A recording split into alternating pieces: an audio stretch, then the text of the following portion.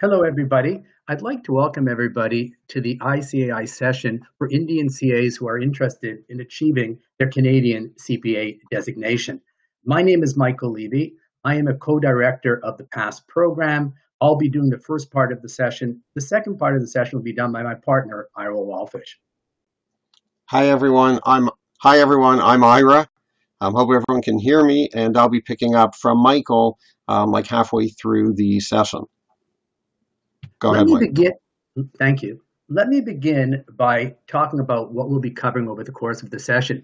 And I do welcome questions anytime throughout the session. If you have a question, uh, please ask it. We'll either answer it immediately, or in some instances, we may wait until we get through a couple of slides and then answer your question. But we'll try to answer everybody's questions. I'm sure people, you know, want to learn as much as possible.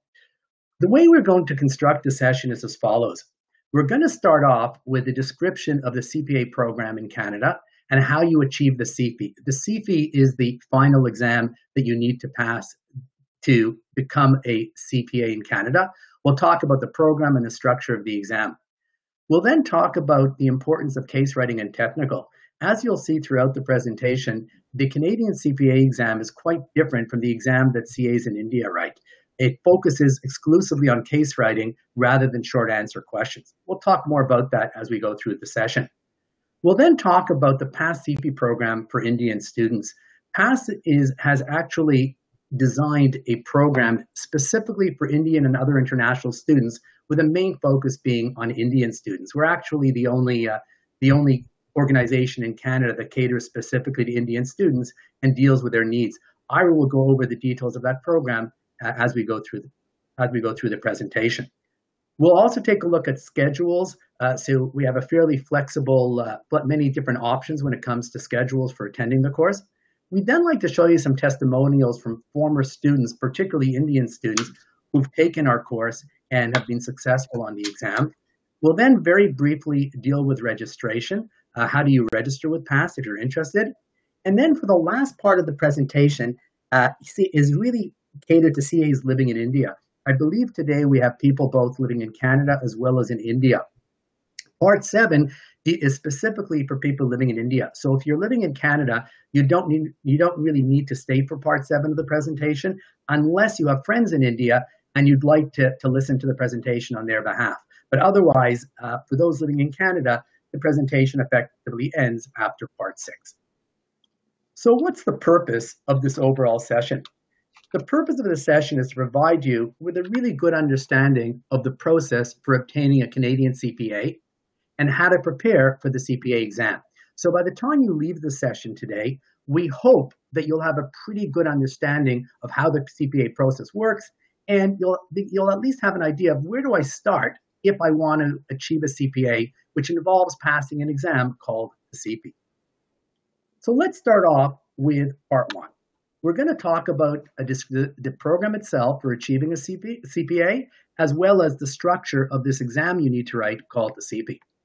Let me begin by explaining what a Canadian student would do to get their CPA, and then I can explain to you how Indian CAs are treated. A typical Canadian student would have to take four modules, four technical modules, and write exams for each module. The student would then have to go to two additional modules. One is called Capstone 1 and one is called Capstone 2, both of which we'll describe in detail a little bit later. And then they would write the final exam called the CP. So in Capstone 1, for now, I'll just give you a very brief understanding of what it is and more detail later. Capstone 1 involves working with a group on a large business case. Capstone 2 involves writing previous CP cases. So a Canadian student has to go through a fairly lengthy program which for many students takes a couple of years. The nice thing for Indian CAs is based on an, an agreement, an MOU between the Indian Accounting Association and CPA Canada, Indian CAs can go directly to the final exam called the CP. They don't need to do the technical modules, and they also don't need to do capstone 1 and 2. They're still responsible for the same technical knowledge that a Canadian student is responsible for, and but they don't have to go through the modules. Of course, PASS will help you fill in that knowledge that you would not have acquired by not going through the modules, but you don't need to go through these technical modules. Now, the 2020 CP is September 9th to 11th.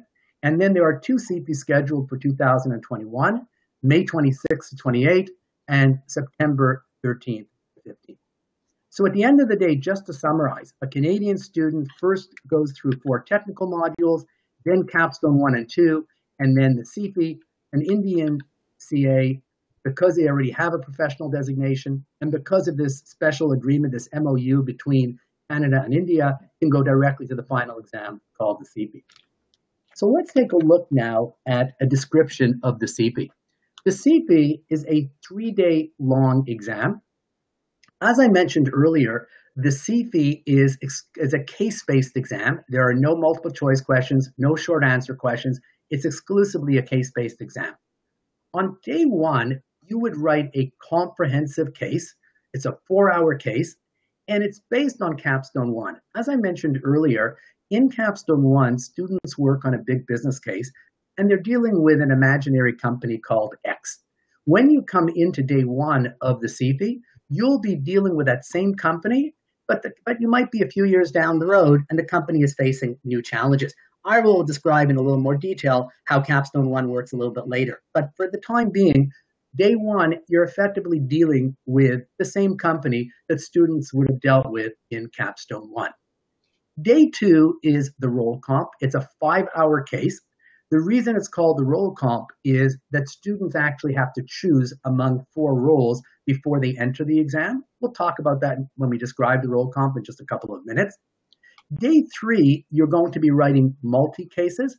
Multi cases are typically between 70 and 90 minutes. You have three such cases, and they add up in total to four hours. So you could have three cases that are 80 minutes, one that's 70, one that's 90, but at the end of the day, the three cases need to add up to four hours. The see over the course of the three-day exam, you're going to be tested on six competencies: audit and assurance, financial reporting, management accounting, finance, taxation, and strategy and governance. The most heavily tested areas on the exam are two and three financial reporting and management accounting. I just want to step in here for one second to interrupt Michael. Um, they mark day one separately. So day one, day one that's coming up. fail. Oh, okay, and day two and day three they mark together, pass fail. Okay, so let's go through each of the three days of the CP. The first day of the CP is a four hour case, as we said before. It's based on the case used in Capstone 1. So basically, as I said earlier, in Capstone 1, you'll be working on a business case and you'll be dealing with a particular company. When you get into day one of the CP, you're dealing with the same company, but it's now a few years later, and that company is dealing with some new challenges. And you'll be dealing with various operational and strategic decisions that need to be made. As Ira pointed out, day one is marked separately from days two and three. And so you can pass day one, even if you fail day two and three, or you can pass day two and three and fail day one. They're marked totally separately. When it comes to day one, you'll simply achieve a pass or a fail. It's one, one, or, one or the other. There's no mark, it's just pass or fail. The purpose of day one is very non technical, okay? It's meant to test your general business skills and your case writing skills. It's not intended to be a very technical day. Day two of the exam is a very challenging day. Day two is a five hour role comp. And the way the role comp works is as follows. The case will have financial accounting and or management accounting, and everybody has to address these issues. So what they can do on the role comp, which is a five hour big case, is they will test financial accounting or management accounting or both. Okay, historically, on some CPs, they've only tested one, on others, they've tested both. Then, in addition to addressing financial and or management accounting, before you come into the exam, you're going to choose from one of four roles. And again, you'll do this before you actually come to the CP. The four roles from which you will choose are audit, tax, performance management, or finance. You'll have to choose from one of those four roles. The way it's going to work is as follows.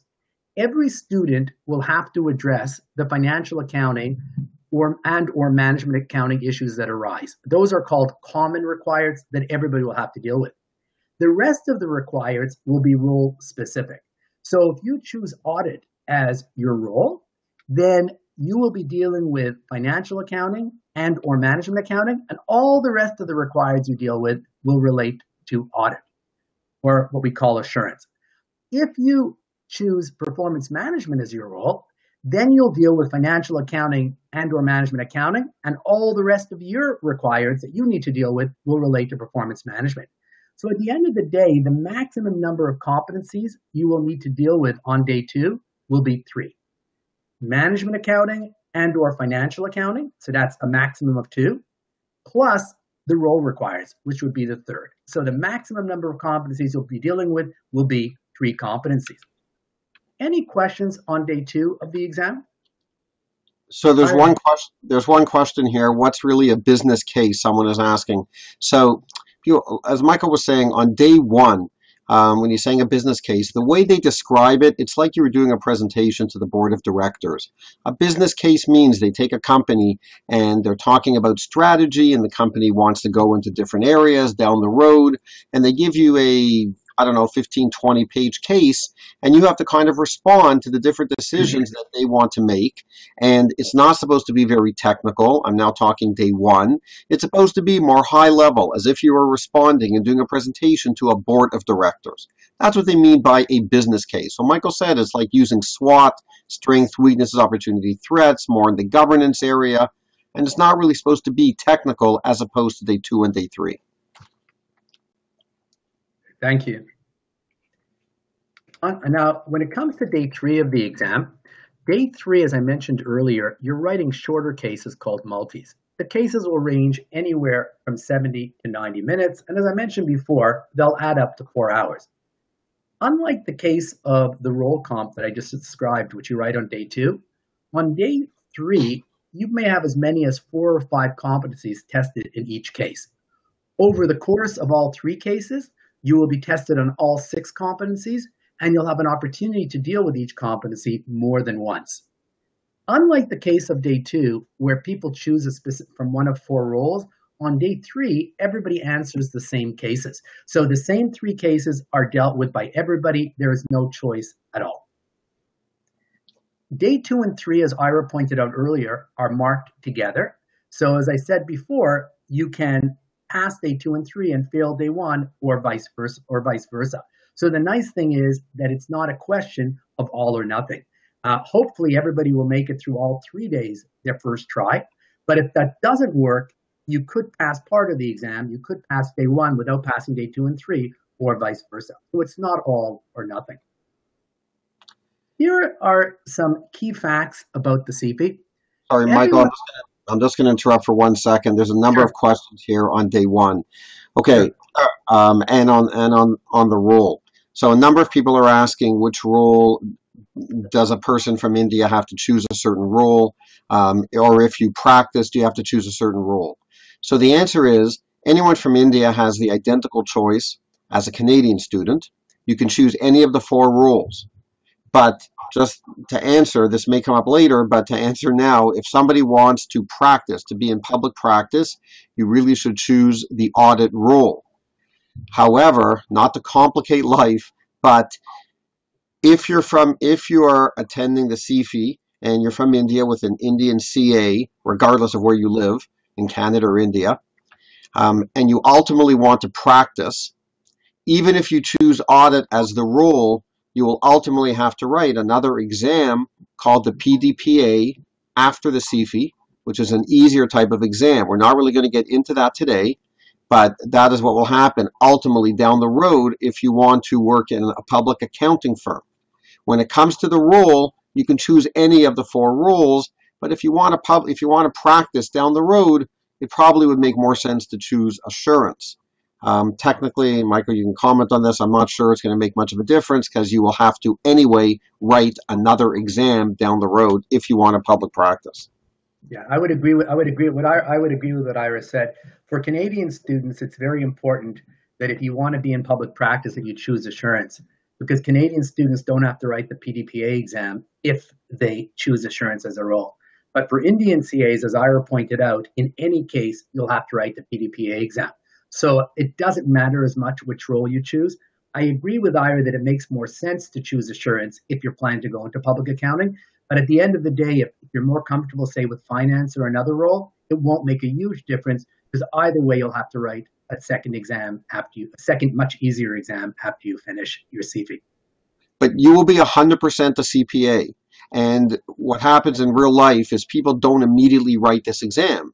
You'd be in public practice at some point if you're going to make partner in the firm a number of years later, then you would be faced with having to write this other exam. It's not like you would go to this exam in a month or two months later or something like that. So it's not, that's why we're not focusing on it today. It's just not so important at the moment. Our job is to basically help you pass and get the CPA. You will be 100% a CPA. And then at some point down the road, um, you know, you'd have to worry about this PDPA. Another question is somebody asked if on day one there's a couple of parts to the exam. No, it's one question for four hours, as Michael said. It's one big case. There's no um, like sub parts. Um, I'm just looking people, just give me a second at some of these questions.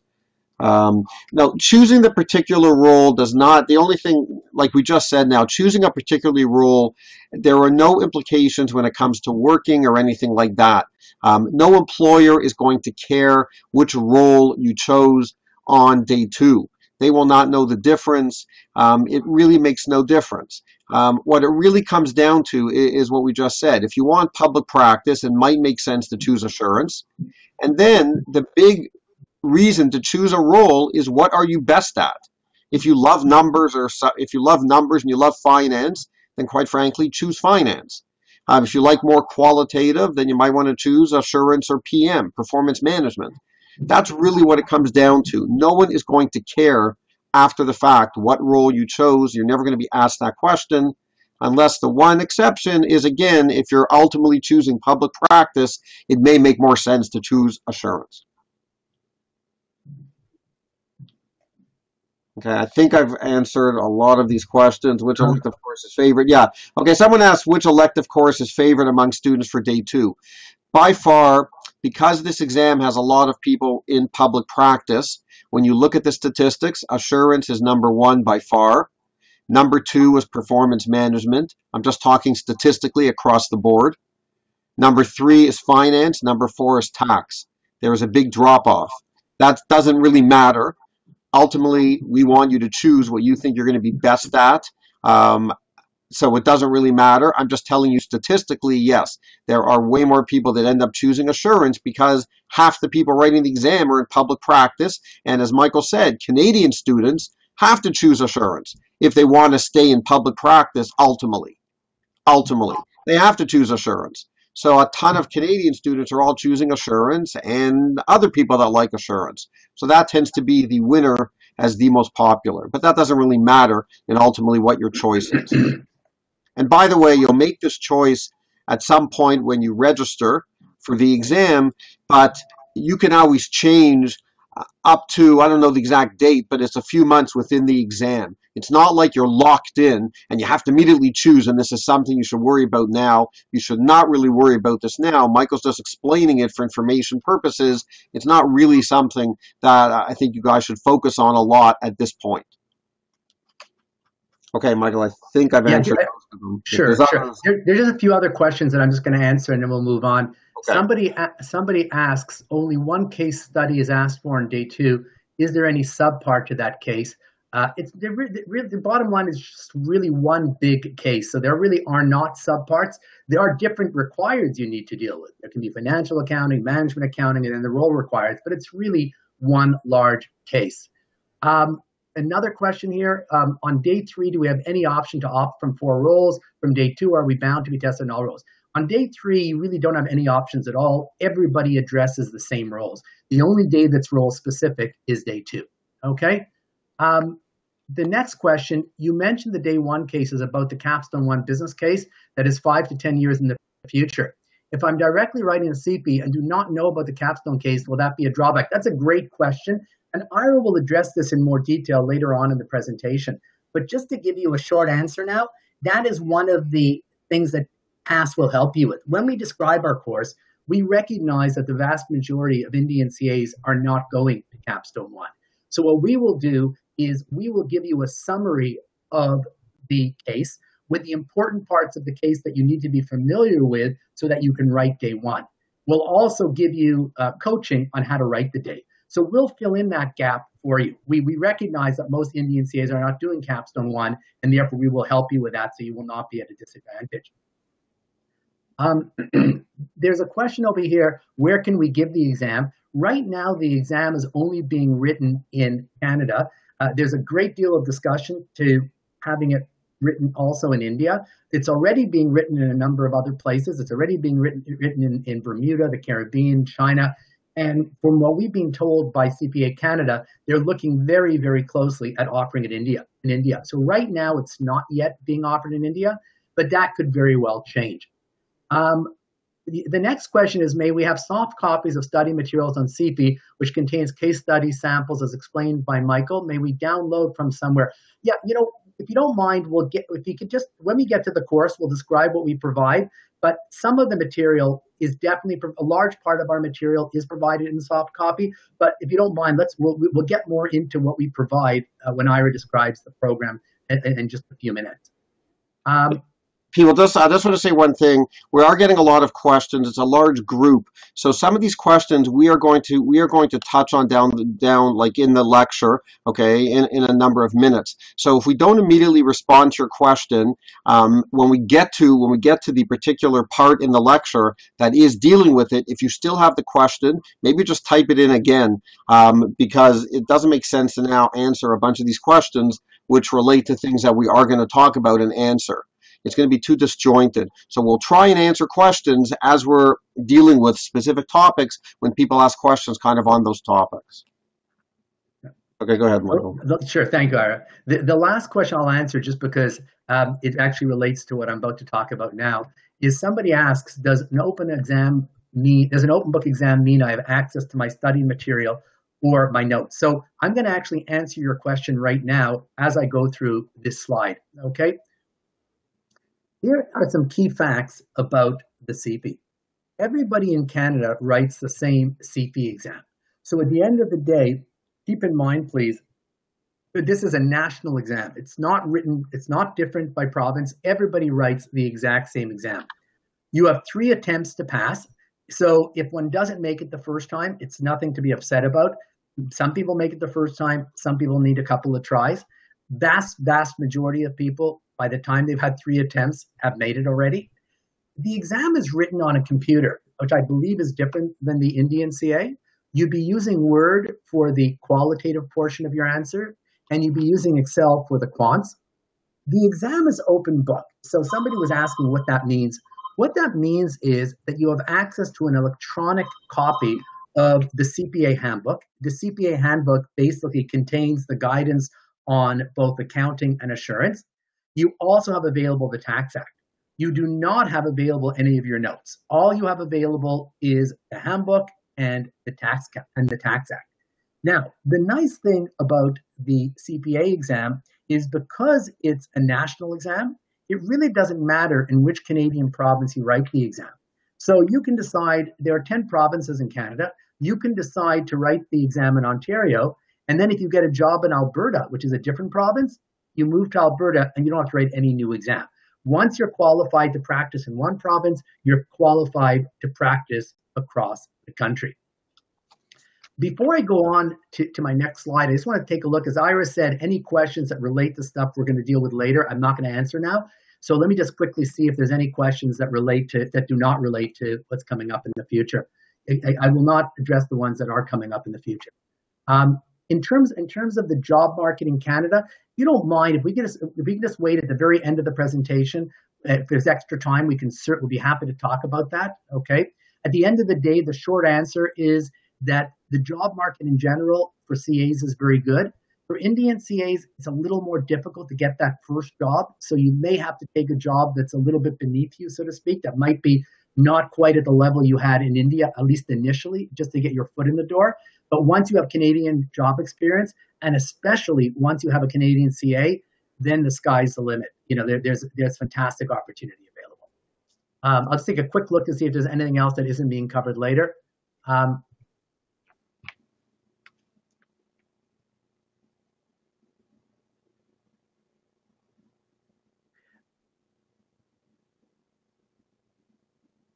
Okay, so you know what? I, I think, Ira, is there anything else you think we need to answer now? I think everything else, I think we can move on. Do you, does that, make sense?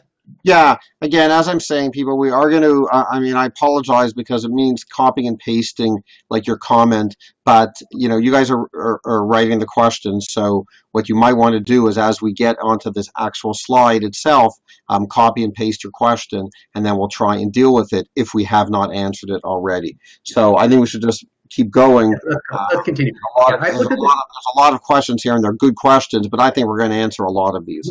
Yeah, most of them will answer, and as Ira says, if we don't, let us know. But I, but I agree. So let's continue.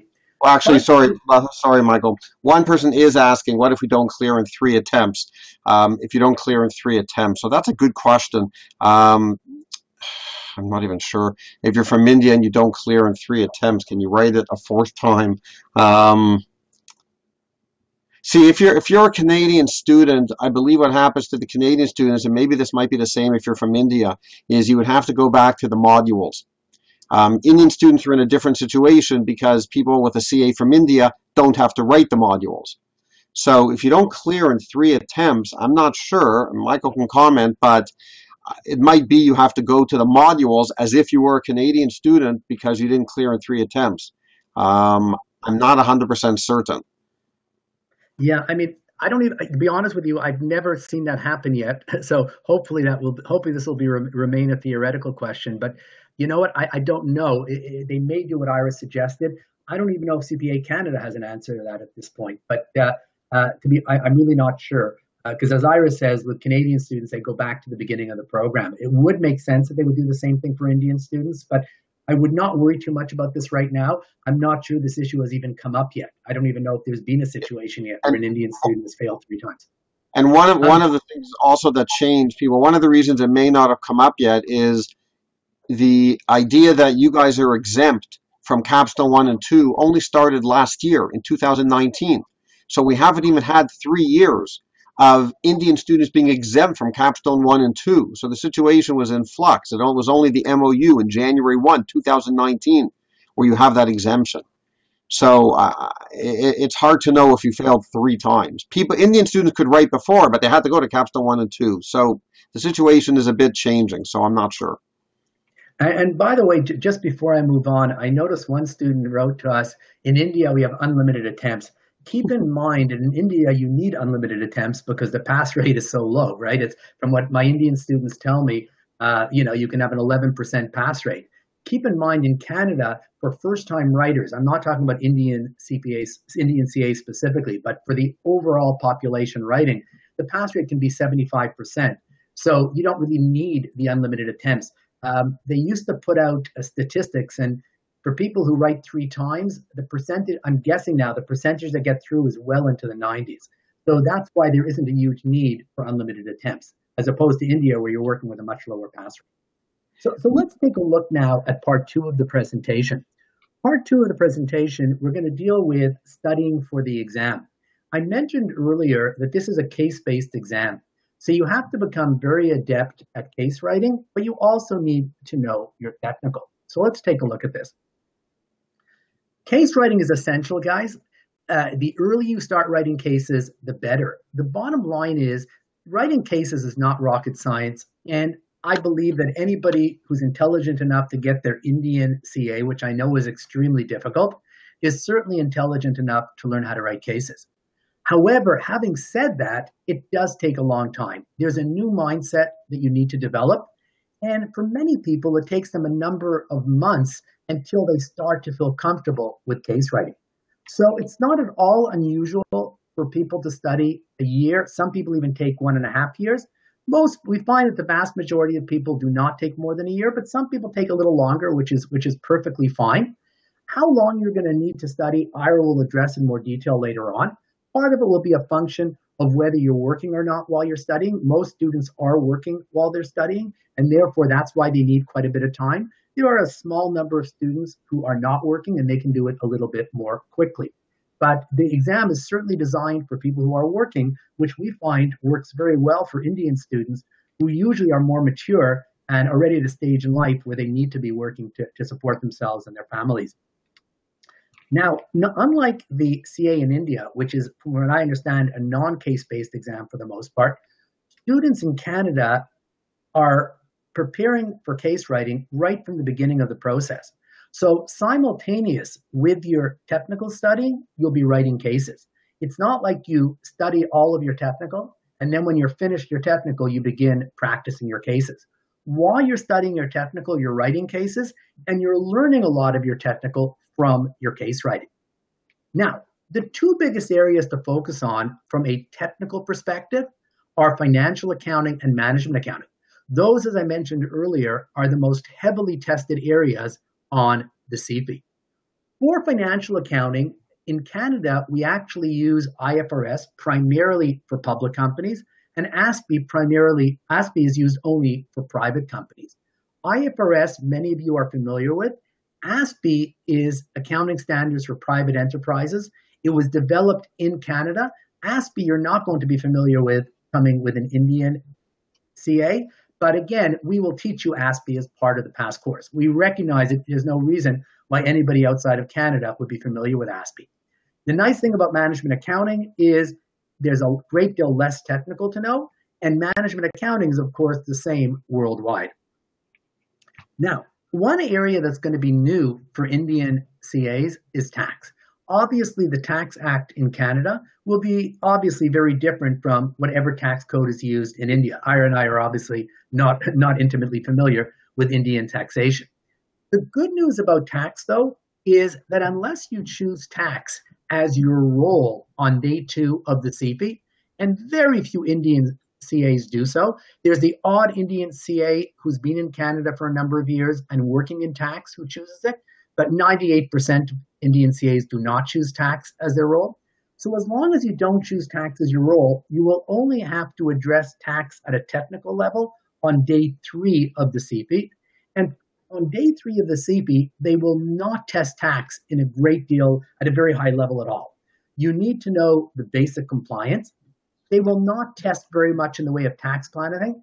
Anything involving tax planning or anything complex is beyond the scope of day three. It's only tested on day two. And as I said before, very few Indian CAs will deal with tax on day two.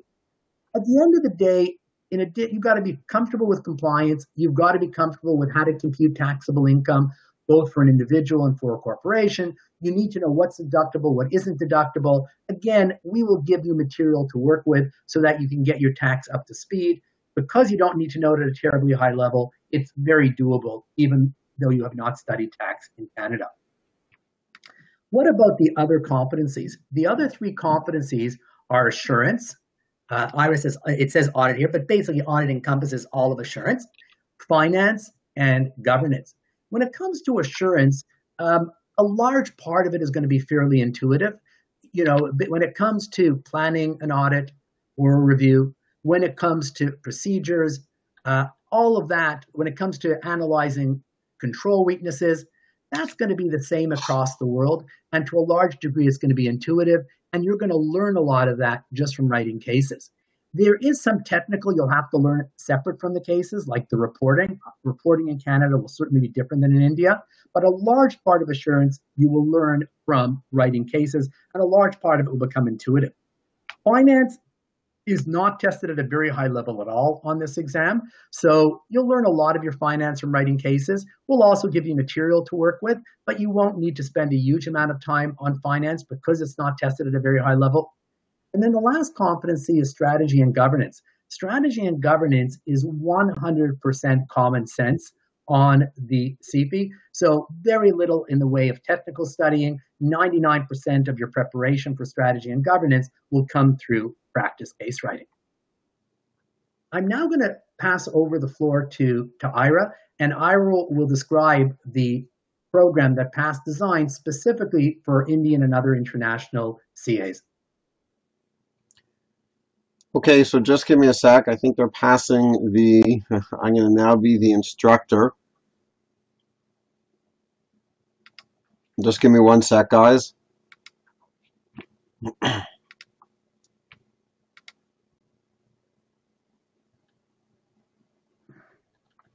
Okay, so I'm hoping you guys can see. Michael, you can see my PowerPoint, correct? Yeah, yes, I can. Okay, Um, perfect. Should, should we just take a quick look to see if there are any questions that, that relate to, to things I've gone over as opposed to things that are coming up? Because, or have you already Yeah, looked so at them, Ira? Yeah, no. So you know what? I'm gonna I'm gonna watch whatchamacallit, I'll keep going, and Michael, you, maybe you watch the questions, and if there's something on the particular slide I'm dealing with, just interrupt me. Right, right. But you want to take a moment now just to see if there's any questions that I, we didn't Sure. we didn't Okay. see based on what I just went over. I, I'm not going to even read the ones that relate to what's coming up because you'll deal with them later. Um, oh, okay. So somebody asks, can you please speak about uh, tax on day two in detail? As I'm an Indian state with post qualification experience of three years in tax. On the truth is that on day two, if you do choose tax as your as your depth area because you have experience with it. Day two, it's tested in more depth. Oh, There's a lot of tax planning involved.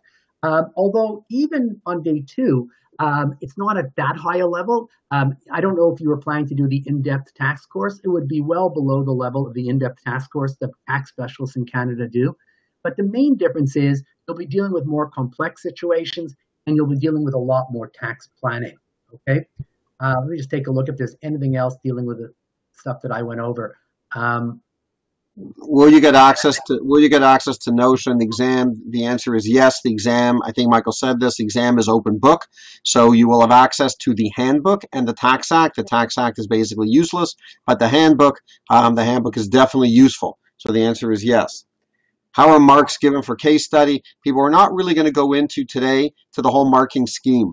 The, the marking scheme is a little more complicated and you really need to see a whole case. So we do that as one of the, as really almost the very first class in the whole course uh, that we offer. But we're not going to go into the whole marking scheme. It's not so relevant, to be honest, at, at this stage. And if you're taking if you're taking the course and you're in the course, then we'll tell you right at the very beginning how the exam day two and day three actually get marked. It's a whole marking profile. It takes 15 minutes to go through. Um, it- it's not necessary. Someone is asking, is it necessary to take tax as a depth area if you want to pursue a tax career? It would make sense. Is it necessary? No, it's not necessary. You don't have to take tax as your tax as your role. As I think I said before, um, no one is really going to ask you down the road. Uh, you could decide not to take tax as your role, and then you could decide a year later that you want to go into tax. Of course, you can still go into tax. The two are not really related, to be honest. If you're very good in tax and you're practicing tax in India and you like tax, it's you know then I don't know i- i- if when you start to see Canadian tax, if you think you're going to be good at that on the exam, then it could make sense to do it. Very few Indian students do that because it's totally new and foreign to an Indian student but it does not impact again your job or anything down the road. Yeah. Okay, great. Um, and somebody asks, what is the handbook? The handbook, as I mentioned before, include described it basically has the guidance or the rules both for financial accounting as well as assurance. Okay. In terms of when to start, Ira will deal with that later. Um, uh, okay, do you want, maybe maybe you should move on, Ira. I'll keep going. Okay, so people, look again. I I know a lot of these questions. The truth is, we are going to cover. Um, so again, if you have to re-ask your question, if we miss it, do me a favor, just copy and paste it in, and we'll answer it. Yeah. And if I could Oh. just add add one quick point before you start, Ira. Um, you know, given that we have so many people in this session, which which we're very delighted about, um, unfortunately we will miss some questions. It's in, inevitable. So if for some reason by the end of the session we haven't answered your question, we do have contact information which we're providing our emails. So if we don't end up answering your question, please just email us after the session and we'll certainly get back to you. Okay? Because I'll apologize in advance that we just might not get to every question, but if you email us afterwards, we can answer your questions. Okay, so just to give you a brief background, I guess, about who we are. So we've been doing this for a long time. Um, as, as you can see, uh, we've offered these courses within all of the large, all of the large firms. Um, currently, we, we actually run the uh, PwC program, uh, Pricewaterhouse, across um, Canada. Um, and Michael, you can see here, did very well um, when he actually wrote the um, uh, CFE. In those days, was called the UFE he was actually a gold medalist. All right, so we really do three things to help train students. We offer technical training, case writing, and we have personal counseling. Personal counseling means a marker will mark your case and then we'll go over it with you personally, um, probably on WhatsApp or Skype or Zoom um, or, or, any other, doesn't really matter. Um, but the marker will go over it with you um, and show you what you did right and what you did wrong. This is kind of the overall picture. Um, basically. So part of this is self-study and part of it is what we call formal formal instruction. So essentially what happens is when you register for the course, we would be giving you a technical binder and we'd be giving you access to technical videos and you would start to read the binder, watch the videos, and start to study the technical because you need a technical base of knowledge, kind of what Michael described before, you have to be up on Canadian tax. You have to learn ASPE for financial accounting. You need a basic technical knowledge. So you start to study your technical. And then you get into case writing. An important point that is different than what you guys do in India is that you get into case writing before you finish all of the technical. It doesn't have to be the same day you start to write technical, you start to study technical that you write a case. But I want to be very clear, you do not finish all the technical before you start case writing. It is more a combined approach because you're picking up some of the technical through the case writing. So it's really a combined, it's really a combined approach. When exactly you start case writing, okay, again, that depends on how long you're starting, to be honest, before the actual exam is coming up. Obviously, if you start earlier, if you start earlier and have more time, then you could spend more time doing technical before you get into case writing. But if you start much later, you will have to get into case writing sooner because you need more practice on the cases. Okay. So um, I just commented on a few of these points. The technical study binder, the videos I just mentioned. Um, financial financial accounting, I think really Michael Michael has said this. So I'll talk about afterwards about how we do how we do our sessions. It says here a combination of live sessions and videos. So actually, maybe I'll address I'll address it now. So we have all of our sessions. We do live online, similar to what you're experiencing now. Okay, we use a different platform. We use something called WebEx, but it's essentially the same thing.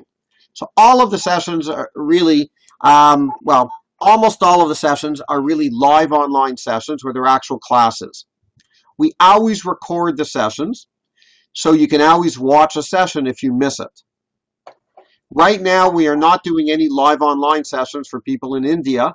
If we have enough students from India, then we could do, we probably would do live online sessions where it would work out from a timing perspective. So right now, it doesn't work out because our live online sessions are in the evening, Canadian time, which would be nine and a half hours later unless you get up very early in the morning at 4.30 a.m. approximately, okay, you would not be able to go in live to the session. You could, but you'd have to get up very early. If we have enough students, we would definitely do it live online for students in India. So financial accounting, we have a whole bunch of live online sessions. For management accounting, the technical, we have a whole bunch of live online sessions. Everything is in video.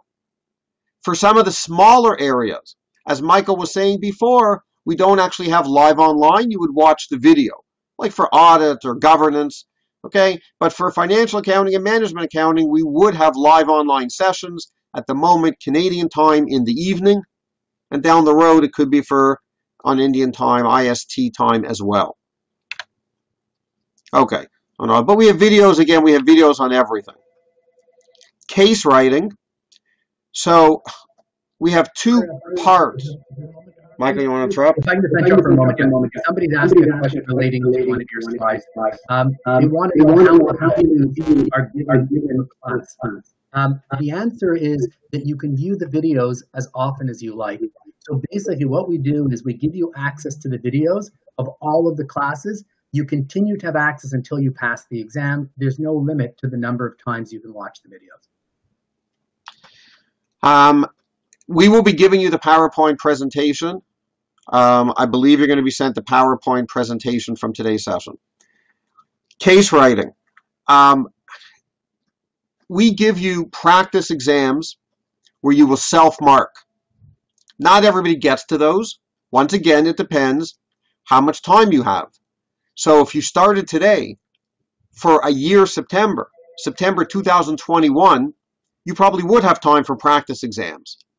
If you started today for September 2020, this September, you probably would not have time for practice exams. I'll talk about timing in a few minutes, but I'm just explaining the self-study where it says write and self-mark cases. The formal instruction that you do need to have time for is you will have practice cases for all three days. For all three days, you will be writing practice cases for the day one case, for the day two comp, the one case for five hours, and for the day three, what we call multis, you'll be writing practice cases throughout.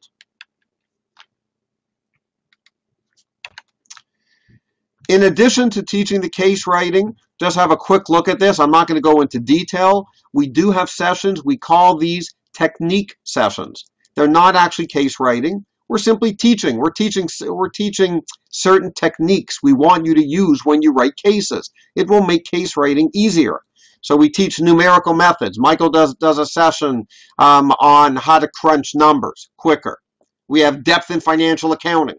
Financial accounting, Michael mentioned, is one of the two biggest areas. So how do you get depth in financial accounting? So these are called technique sessions. I'm just explaining we have other sessions besides case writing where that are important to help you when you're writing the cases. The personal counseling, I think I've already explained it.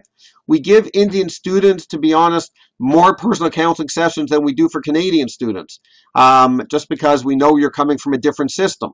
So meeting with a marker doesn't matter if it's it's not going to be in person. For, even for people in Canada, it's not going to be in person. It's probably going to be again over Skype or whatever, WhatsApp. It doesn't really matter. But the whole point is they will be going over your exam with you for about half an hour. We do that three times. That's a significant amount. Canadian students get one time. Um, I don't think you really need much more than that. A lot of the instruction you need really comes through the classes when we go over the cases and we explain how to write the cases. Okay, now, people, let's talk about um, a little bit about not attending Capstone 1 and Capstone 2. Um, you guys know you are exempt beginning from January 1, 2019. You do not have to take Capstone 1 and 2. In September 2019, that was our first experience for everybody for Indian CAs writing September 2019, the CFE who did not take Capstone 1 and Capstone 2. Michael mentioned the statistics before. We don't know the overall statistics for Indian students. We know for Canadian students, the statistics are about 74% for first-time writers.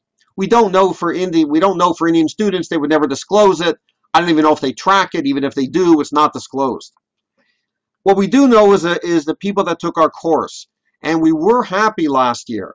Um, we don't we don't know every single person that took our course if they passed or failed because the truth is we don't always we don't always get told after the fact. But a lot of people do tend to tell us, um, both good and bad, when they pass and fail. We were pretty happy last year with the results. Okay, of the people we know about, I think the stats are probably somewhere around 60 to 65 percent of our Indian students passed. Those are the people we know about. I'm not saying that's a complete statistic. We don't know about a bunch of other people that never told us. But a lot of people got through for the first time who did not attend Capstone 1 and 2. We built something into the program to address Capstone 1 and Capstone 2, which I'll talk about, and we think it worked. So we were very happy with that. And I mean, it's all relative. Is it lower than the Canadian pass rate? Yes, it is lower than the Canadian pass rate. Is it a heck of a lot higher than the Indian pass rate? As Michael said, that's a lot better than 10 or 15%. So that's what we think happened last year, again, for the people that we know about. All right. You do have the option, by the way, of taking Capstone 1 and 2. We don't recommend you do it. I will explain why. But you do have the option of taking it, okay? But again, we don't really recommend it. I'm only going to explain this, even though I don't recommend you take this, because, uh, you know, we were getting some questions, by the way, what do I mean, a business case and stuff like that. So I don't think it hurts for two minutes to have an understanding of what Canadian students do in Capstone 1. And how are you going to deal with this by not going to Capstone 1? How are you going to write the first day of the CFE? You did not go to Capstone 1. Let's talk Canadian students, not CAs from India. Canadian students, they get put into a group in Capstone 1, four or five people. They deal online. They give a case out. The case is massive. It's like, I don't know, 30, 40 pages long. You will get the same case. CAs from India. You will all get the same case. I don't care if you're in India or Canada. You'll get the same case, okay, that they're going to get.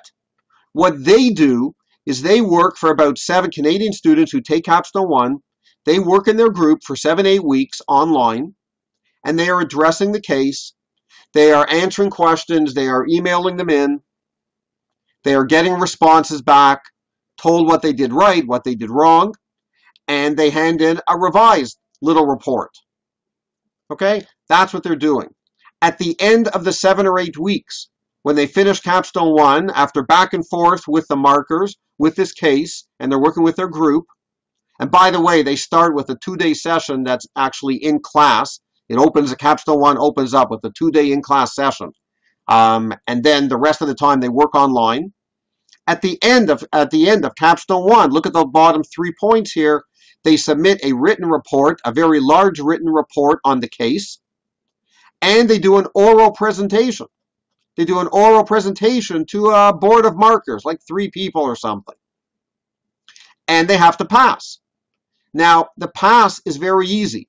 It's not difficult to pass capstone one. Almost everybody passes unless you do something crazy like not hand it in. So uh, again, everybody basically passes. It's not being used to weed out people. So that is just a description, again, of capstone one. I didn't explain yet exactly how you guys are going to deal with that. But that is the description of capstone one. We tell you, don't take it. Why? They're trying to teach Canadian students certain things you don't need for the exam. So look at the first bullet point. Group work. You don't need group work for this exam. This exam you write on your own. You're not part of a group. So we don't really care so much if you know how to work in a group. Maybe it's an important life skill, but the truth is, I don't really care, or Michael doesn't really care for the exam itself. You're not working in a group. Well, Capstone 1 does care because they want to make sure that the Canadian students know how to work in a group. And similarly, presentation skills. I don't really care if you can give a presentation, an oral presentation. It is an important skill in life, maybe in work, but it's not something we are teaching you, and it's not something that shows up on the exam. This exam is written. Somebody actually had that question. Is the exam a presentation? No. The exam is three days. You're at the computer. You're writing on Word and Excel, okay, and you're answering cases. Okay, that's what you're doing on this exam. You're not doing any presentation. The other point, the second point, is a big point also. Capstone 1 takes Canadian students a lot of time. They spend 10, 15 hours a week on Capstone 1. That is not worth it. They don't have a choice. CAs from India do have a choice. So we recommend don't do it. We can we can keep you busy. Believe me. We'll talk about time afterwards. Okay, um, a lot more productive than Capstone One and it's expensive. It's thirteen hundred dollars, whatever. And for those people sitting in India, if you did take Capstone One outside of the forget about the pandemic at the moment, hopefully it won't last that much longer. But when the pandemic is basically over, if you're from India and you take Capstone One, you will have to make two trips to Canada. You'll have to be here for the first two-day session, and you'll have to be in Canada for the presentation, for the oral presentation. So for all of those reasons, we do not recommend you take Capstone 1. Michael, I'm not even looking at the questions. Do you see any questions relating to Capstone 1 that I've not covered?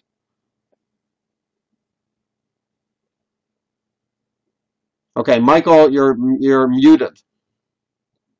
Please unmute. There, are, there are other, there, there are no questions on Capstone One. There are other questions which I'll deal with later. Okay. Capstone Two. Okay, thank you. Capstone Two. Um, Again, same reason I want to describe this. I want to explain what it is for Canadian students and you know. I still, by the way, for Capstone 1, don't worry, I'm going to deal with afterwards how you guys prepare for it. Capstone 2, okay, Um, all that really is is practice exam writing. Once again, Canadian students in Capstone 2 will start with a two-day workshop in class. So once again, if you're from India and you do take it, you have to be here for those first two days. And after that, you don't work in a group. What you're doing for the next seven weeks is you're simply writing answers to practice old exam questions. That's it. You send it in, they mark it, they send it back. Okay, that is essentially capstone two. There is no pass or fail. So this is important. Again, I'll explain how we deal with this, but that is capstone two. It is essentially practice exam writing, writing old cases, sending them in, getting them marked, you get feedback, and they send them back. That is capstone two. No pass or fail. No real pass or fail. Okay, basically, I guess if you don't hand any of them in, again, it could be a problem, but it's not really a pass or fail. So we're going to provide an alternative.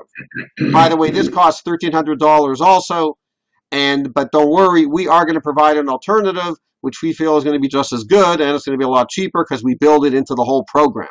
Okay, so I'll explain that.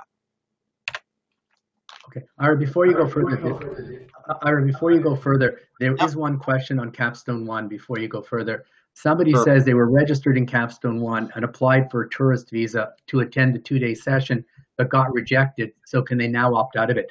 You know, once you've decided to take it, I, I would think you can probably still opt out of it. But to be honest with you, that's a very difficult question for us to answer. I would strongly suggest that you communicate with the provincial institute you're dealing with and ask them if you can opt out. Hopefully, they will allow you to. I would think they probably will, given that you're not required to take it, but you should speak directly with the provincial institute that you're dealing with. Okay, thank you. So, people, here's what we're going to do instead of Capstone 1. We do not offer the exact same that they offer. We don't want to do that. Again, it's a bit of a waste of time, a lot of the stuff you end up doing for them. But we have to prepare you enough to pass day one. So what do we do? These are really the three things. Number one, in Capstone 1, when they give you this big case of 30, 40 pages, on day one of the CFE, they will take the same company. They will say, as Michael said, is five or 10 years later. You do not have to remember most of the details from the large case that the people worked on in Capstone 1. You would have to remember some of the basic details about the company. So for example, what I mean by basic details, I don't know, maybe it's a private company. Maybe they're owned by three brothers. Maybe the three brothers have a whole bunch of fights and they don't get along.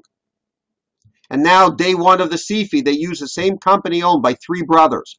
And it's a new case, but it's, an, it's the same company, but it's a new scenario. It's five years later.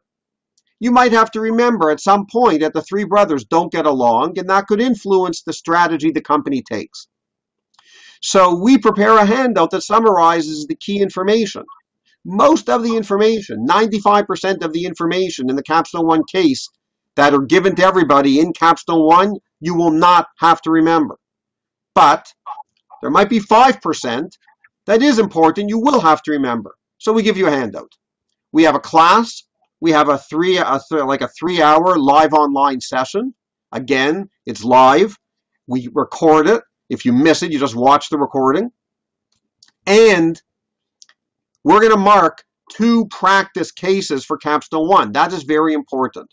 That is very important because they will give you when you register the Capstone 1 case, this 30, 40 page case. They will not give you a solution.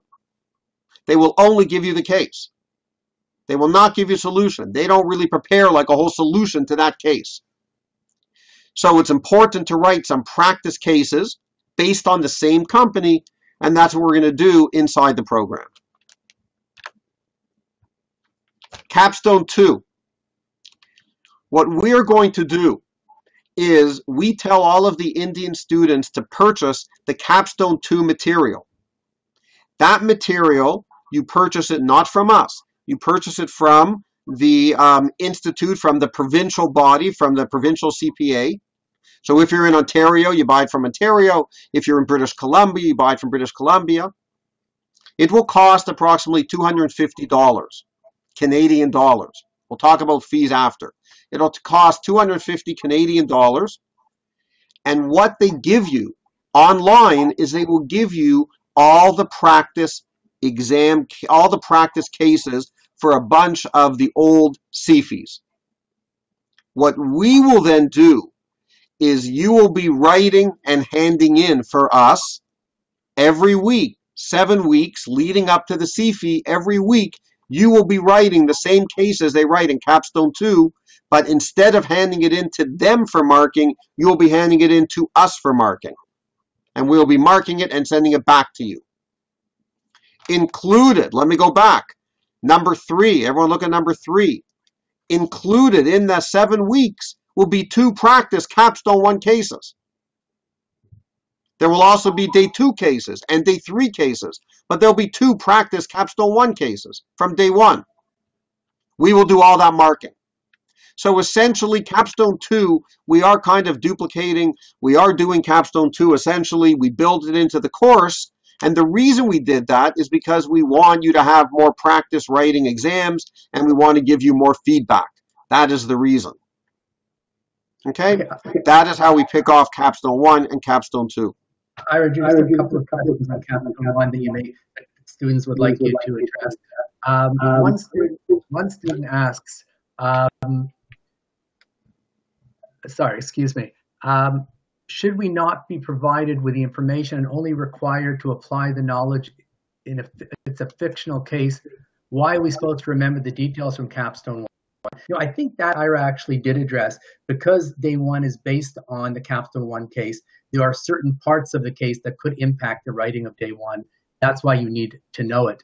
Uh, that's why you need to know certain parts of the case, which we'll summarize for you. And another question was: Is capstone one case available online? Can it be read before the CFE exam for students who decide not to write it? Um, I'm not sure what that question is. Uh, I think the student is asking, can, will they see the complete capstone one case if they choose not to attend capstone one? I think yes, right. So and, people again, and the next question also. So let me address both of these questions about is there a new capstone one case every year? The answer is yes. It gets a little complicated.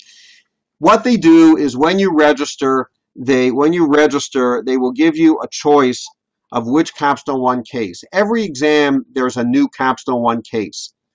Um, there's a new there's a new company and a, and a capstone one case. They give you a couple of chances on that same company. So let's say, let's pretend I write in September 2020 and I'm doing the new case for this year is called Distinct Hotels. So I sign up and I say, I want to write Distinct Hotels. Yes, they will make that case available online. I will have the same case that people in Capstone 1 have. I will have a 30, 40 page case on called Distinct Hotels about something, I don't know, it's hotel company. Okay? I will have that. I will write my CFE in September based on Distinct Hotels, and they will give me a new a new case based on Distinct Hotels on the actual exam itself on day one. Fine. If I'm unsuccessful, the next time I write, I will be allowed to write another Capstone 1 Day 1 case on distinct hotels. But other people writing the same exam, let's say I write in May of 2021, I'm writing a second time. Day 1, I will be answering a question based on distinct hotels, and the person sitting next to me writing for the first time will write the new question for May called waste management. Okay?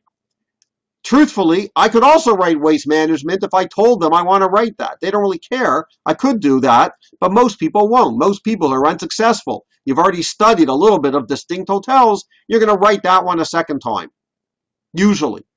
Okay, so that is how this works. So at every exam sitting, there, there's there's half the half the people, not half, but whatever, a portion of the people are writing uh, the one from last time, and a portion of the people are writing the new case. That is basically how it works. But everybody, you're always given the, you're always given the case. Yeah, and somebody or somebody asks also, uh, you know, when they make the choice, do they make the choice when they register for the CFE? You'll be asked well before you register for the CFE which case you want to write for day one. That that choice will be given to you before you even register for the CFE. And as Ira points out, it's usually a pretty easy decision. If it's your first time writing, you'll usually choose the new case. And if it's your second time writing, you'll choose the same case that you wrote the previous year. And I also think you can make a change, to be honest. I think you're not locked in anyway. I think you can make a change. I don't know the exact date up to what time you can make a change, but truthfully, I don't think they particularly care. And if you decided you picked one and then change your mind, that's not going to be a problem. You can do that probably up in, until maybe a month or two before the exam. But as Michael just said, first time writers choose distinct hotels. So If there's anyone listening to this and you choose at right now who is writing this September and you chose Marmoney, and you're a first time writer, Marmoney was last time, I would choose distinct hotels. I would choose the new one. Okay? All right. Um, oh, Ira, sorry, one last quick question that somebody asked. I'll just address it very quickly, just take a moment. Somebody says, Will you guys help us with how to claim exemption of capstone one and two? there's really no need for our help. You'll just simply be asked if you want to attend or not, and you'll indicate yes or no. So there's really no no assistance required there. It's not like you have to file some complex form. Bill, I'm just gonna I'm just gonna briefly mention this about fees. The truth is, it's going to come up afterwards again. But we we threw the slide in now because we're just trying to show you that. Um, I don't know if you appreciate this. You may not, but the truth is, we were very happy when they made um, under the MOU that Indian students got exempted from Capstone One and Capstone Two. That's a big deal because you save a lot of money. Again, you may not care so much about that, but the truth is, compared to Canadian students, you are saving a lot of money because we price our course. You can see the very first bullet point. We price our course at 2,375. This is Canadian dollars. In addition to that, the only other fee you would have would be the $250. There's no other fee. Our fee would include everything, like for the course, all, all the sessions, everything we're talking about. But then you'd have another $250. If you took Capstone 1 and Capstone 2, we would charge you a lower fee. We would charge you a lower fee. We would charge you $19.95 minus a 15% discount, or $16.95. Okay, so one second. If you take Capstone 2 with us, if we mark all those day 2, uh, Capstone 2 cases the regular program is 2375. If you say, I don't want you to mark those extra cases, maybe I want to go to capstone 2, okay? Or you just don't want us to mark them. You want to buy the material and mark them yourself. Then we're not going to charge you 2375. The charge will be 1695. We're only charging the 2375 because we're marking a lot more cases. Of course, if you go to Capstone 1 and 2, we will charge you 1695 but then you'll end up paying about 4295 because Capstone 1 and 2 are about $1,300 each. So obviously that's more expensive. But you could not go to Capstone 1 and 2, not have us mark the cases, those extra cases, and the fee would be 1695. And yes, by the way, to forestall the question, we will still be marking cases in the program. We have our cases that we have written that you will be writing and, and will be marking. Nothing to do with Capstone 2. But we won't be marking as many. Most people, I'll tell you very honestly, 95%, I don't know what the percentage is, it's really high, choose the 2375 because it's cheaper and they want us to give them the feedback. But there are a few every year, maybe for financial reasons, Okay, we'll talk about that afterwards. We try and do our best for again. I'll talk about that after. But uh, most people, whatchamacallit, um, do choose the two three seven five because it's part of the whole cost for the whole thing, and they want to get the feedback. Okay, and they want to get the feedback where their cases are marked by professional markers. Okay, but you don't have to. We do have another alternative at the 1695. Okay, I don't know if Michael sees anything here.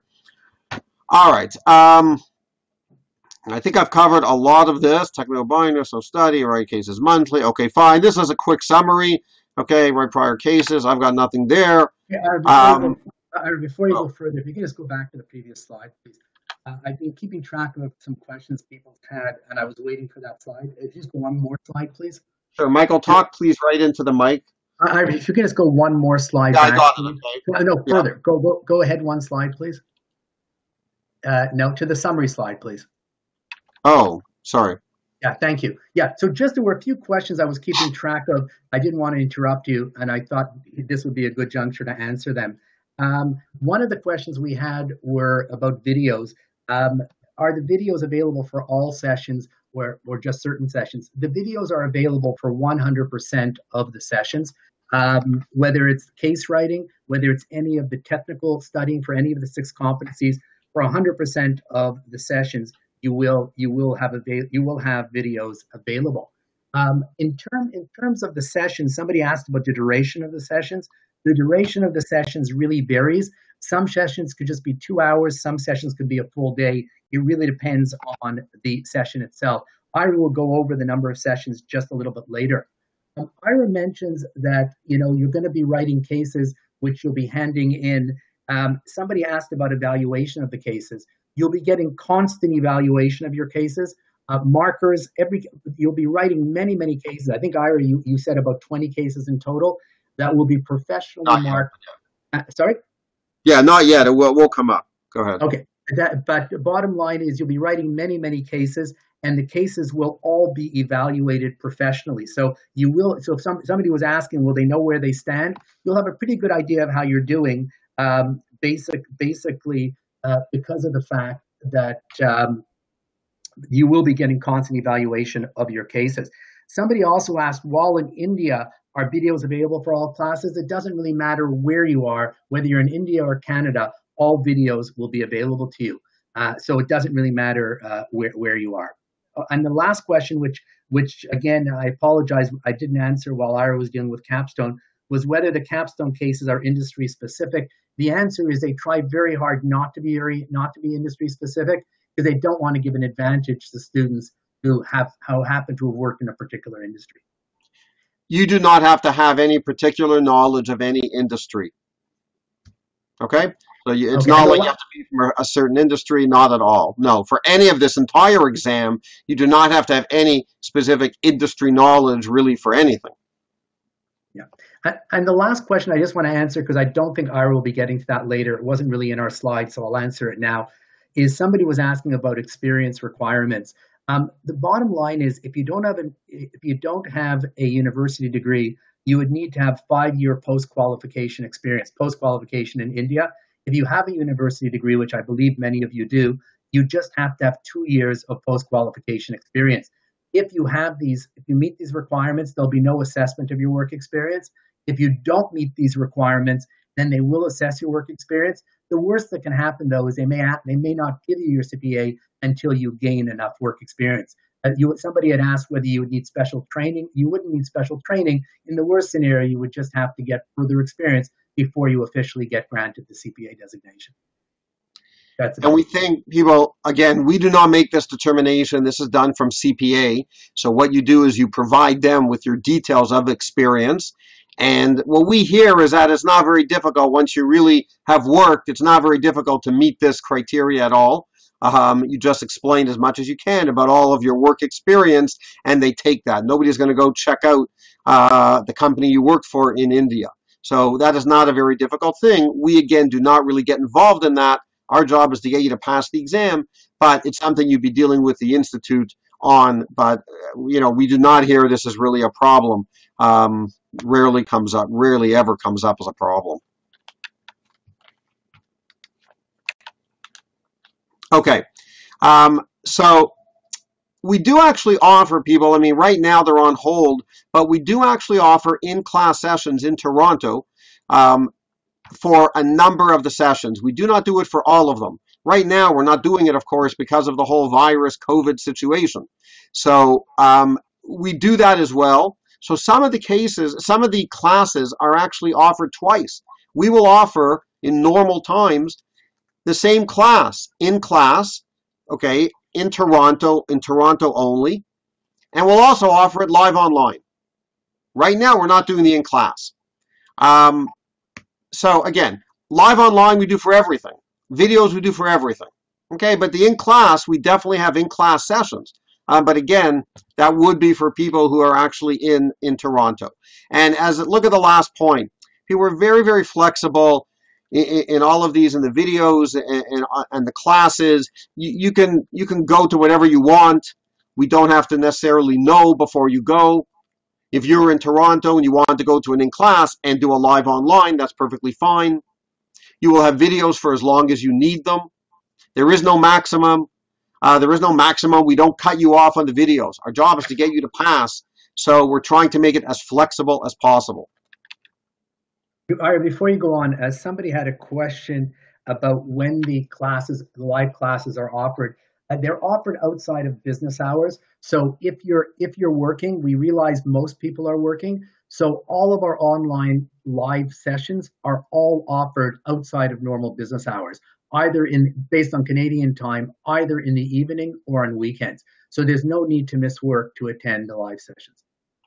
And for those people in India, if we have enough if we have enough people from India taking it, then we would consider offering a, a bunch of the live online classes when it would be available for people in India. Uh, so we'd offer them, I guess, in the morning um, Canadian time, which would be the evening for Indian time. Yeah. Well, one one last question, which I don't think we were going to address, so I should read it. Um, can somebody asks, can we do it on the phone or on their on a, or on a laptop, the actual sessions themselves? Is it? It says over here, can we do it on a phone as well as a laptop? Is it available over any application or web-based link will be provided for the session? I think the answer is yes. I think you could do it. I think for WebEx, right, people, right now, the platform we are using is WebEx. We're not using the same platform you're on right now. We're using WebEx at the moment.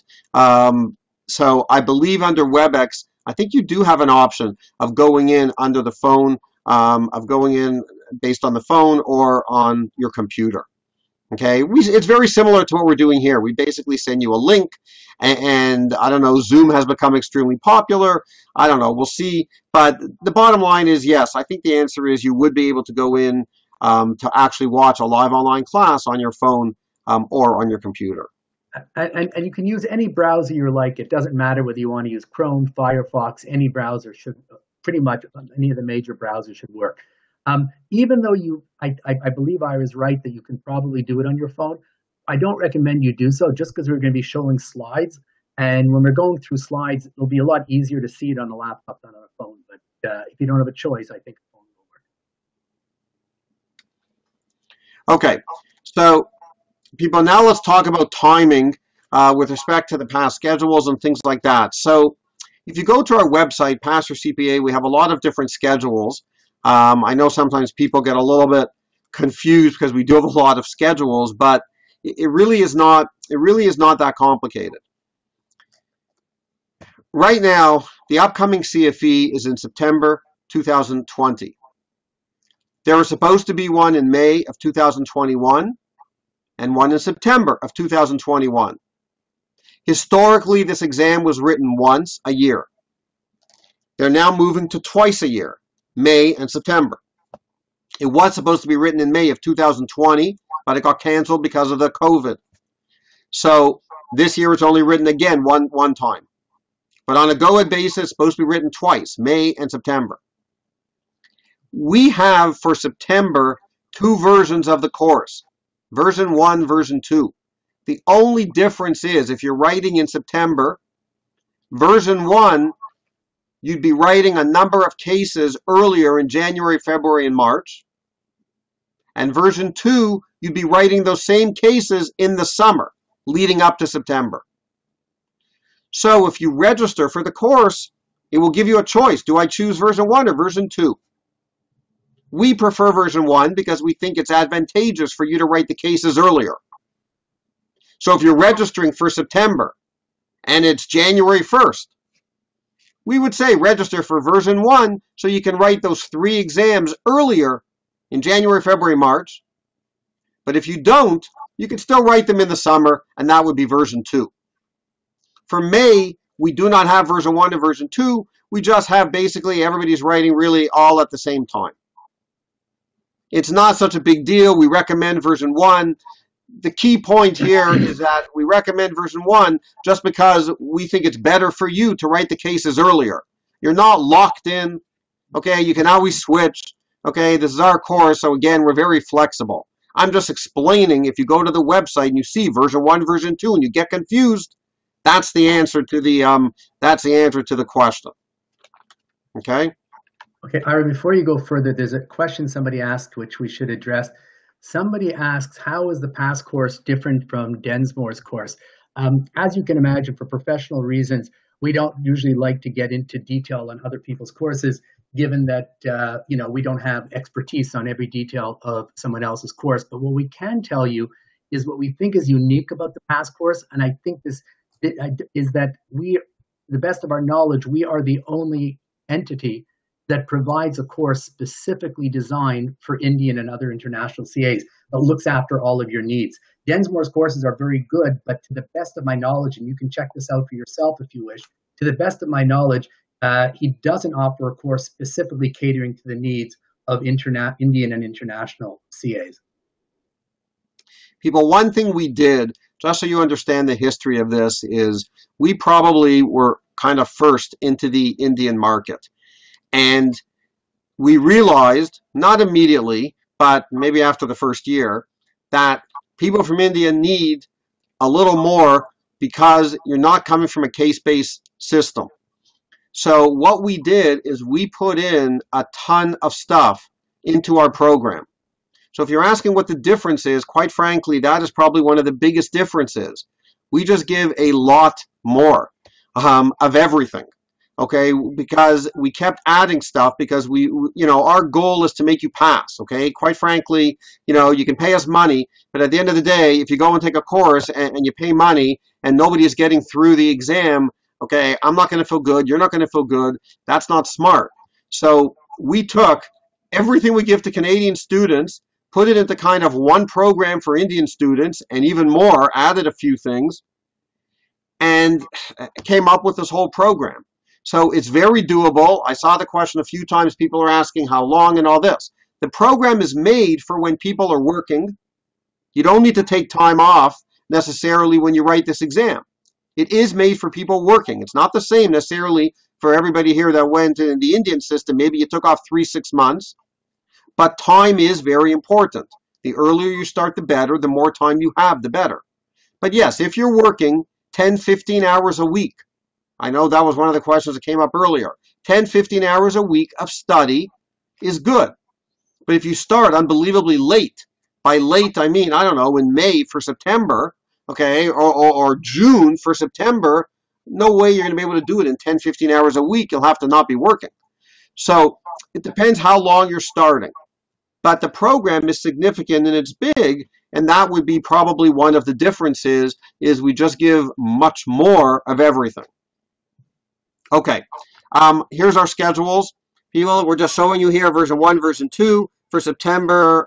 For September, live online in class, which again, these are just different schedules. You can go on our website.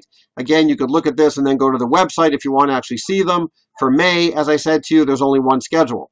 Um, because we don't do version one, version two. We just have like the one schedule, and that's a live online schedule. Right, before you go further, um, in case anybody's one, I, I, think we've had a question on this, so I'll answer it now. You don't need to be copying these links. Um, you will be provided following this session with a copy of the PowerPoint. You'll also be getting a copy of the video. So at the end of the day, don't worry about copying these links. You'll have the PowerPoint and you can then just uh, access these links. Thank you, Michael.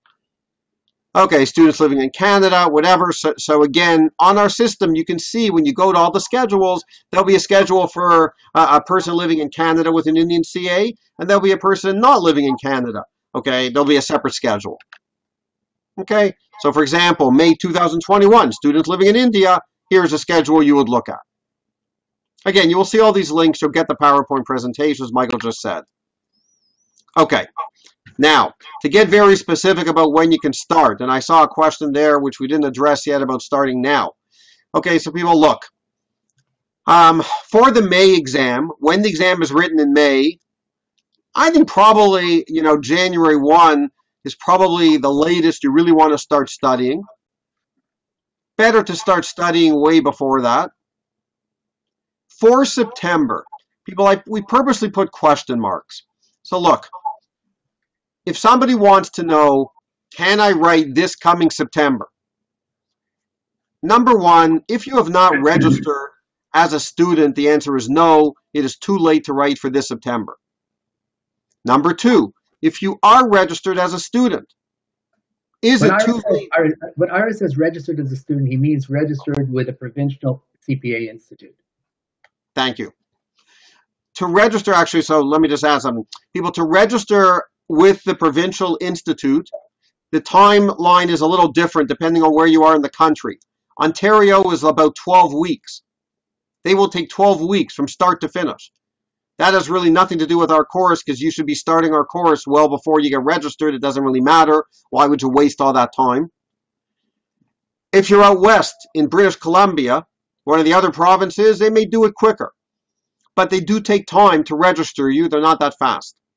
So if you have not registered, if you've not even started the process, then no, you cannot write this September.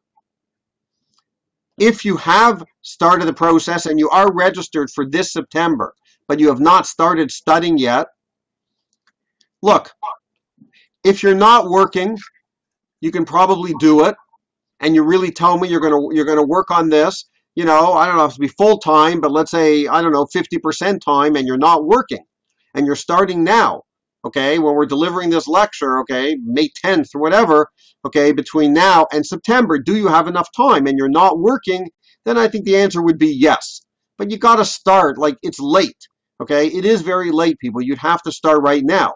But if you say to me, I'm working, I'm working full time, can I start now for September?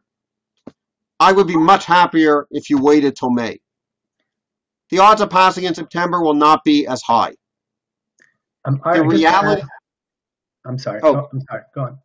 people look the reality is that you need time time is important we have created a program that we think works okay but and this is a big but you have to do it we cannot write the cases for you so we try we send emails we tell people to write the cases but at the end of the day if you write half the cases because you're too busy working your odds of passing are lower it's not uncommon. You know, we see people over the years, um, a, a person from India, and th- they failed the first time, and now they're in our office. They may not even, I don't know, that let's let's say they took our course and they failed the first time, and I start asking questions. Did you write all the exams? Did you write all the exams we gave you? I don't know. I'm not keeping track. Okay, it's a little crazy for me to keep track of every single person. You guys are mature enough at this point in your careers that we, we tell you to write. We give you the instructions. We give you the case. We give you the solution. We have markers lined up. We do all of that. You got to write it.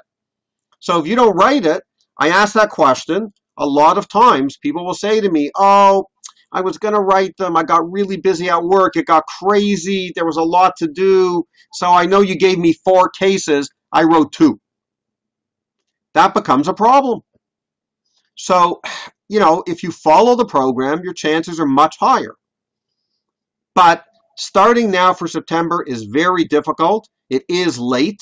It is not our preference. In special circumstances, if you say to me, I'm not working and I'm really going to do this properly, I'm going to do it half time, I- I'm going to do it at least 50% of my time between now and September. Doesn't even, I don't even know if it has to be 100% full time. Um, yes, then I think you have a good shot and we can get you started. And um, yeah, obviously we'll have to speak to you and I'll tell you exactly what you have to do. But then I, I think the answer would be yes. But if you're working, I think the answer is go till go, go at least till next May or the following September. just to Yes. somebody asked, you know, if they are writing in September of 020, and again, as Ira points out, it would only make sense in exceptional situations. If you fall into that situation, somebody asked whether to choose version one or version two.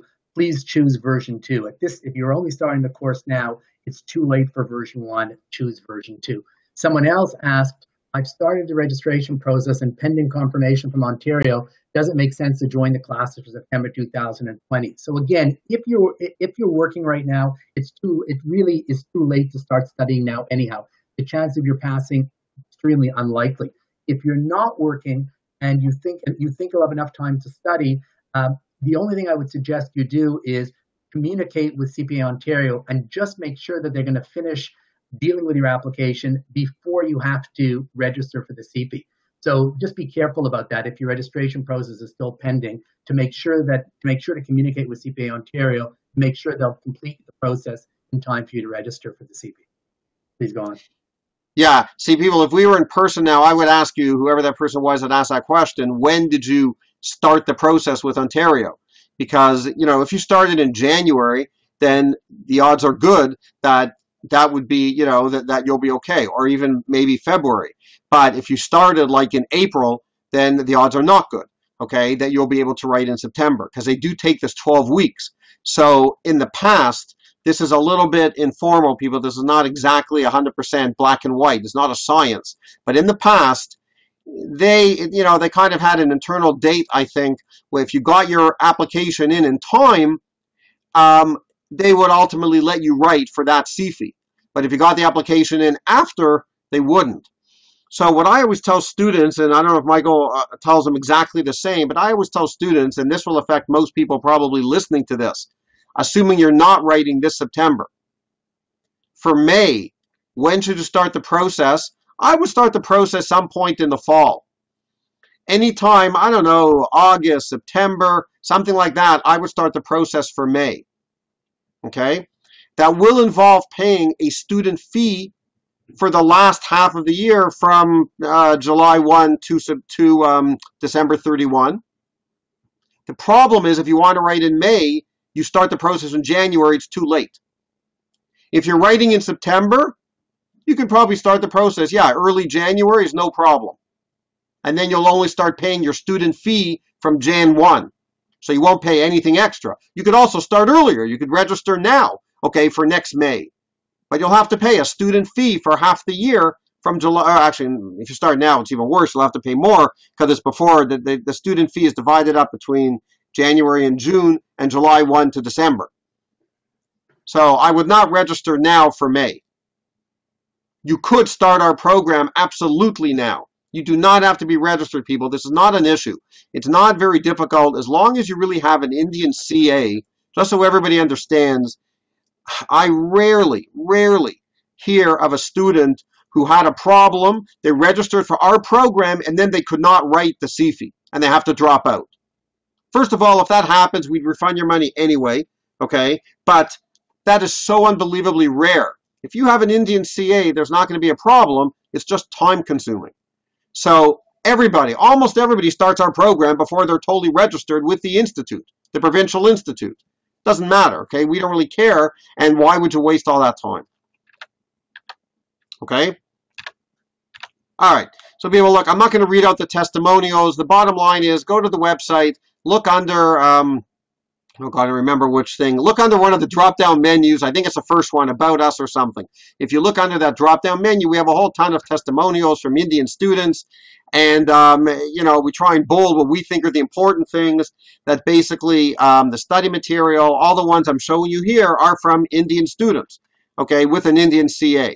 I'm not even, we have lots of Canadian ones also on the website, but obviously I'm just focusing now on the ones from Indi on the ones from Indian students.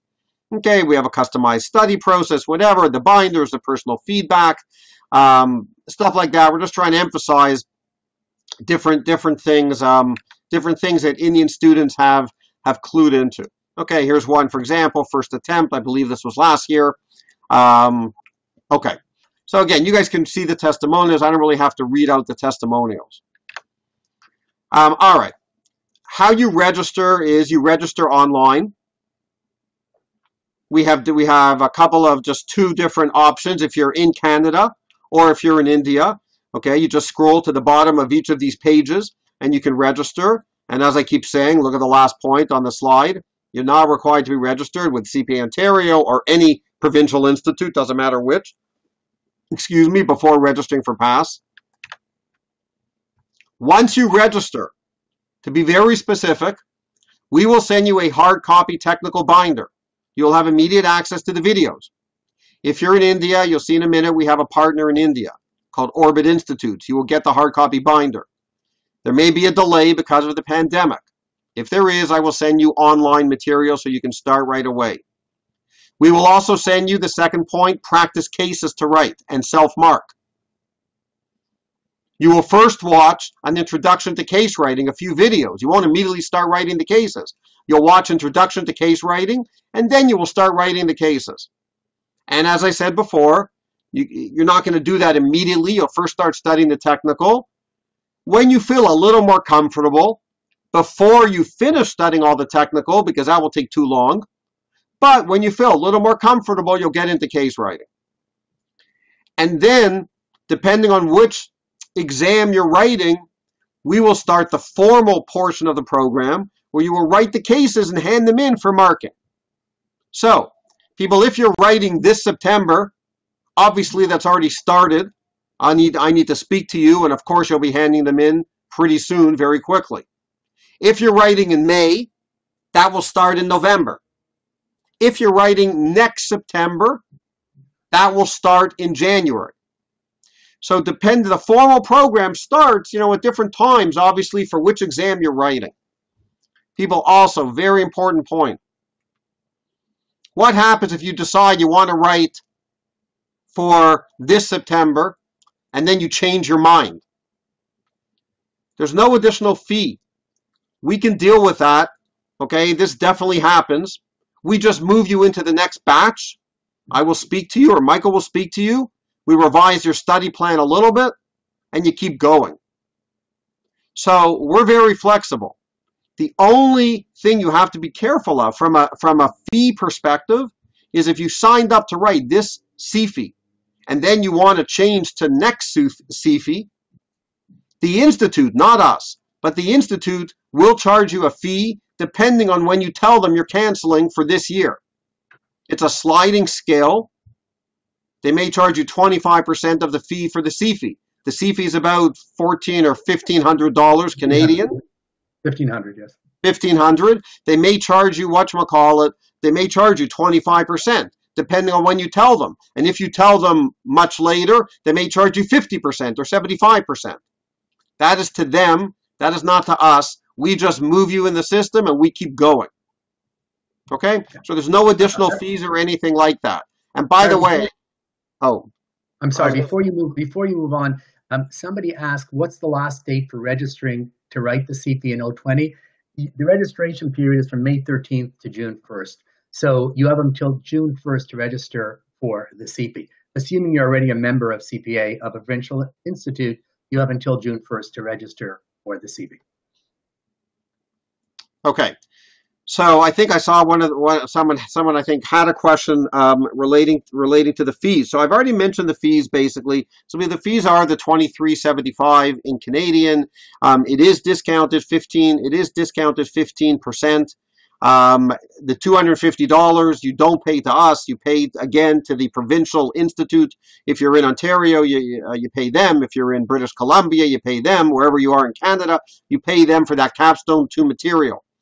Okay, we take credit cards, that's not a problem.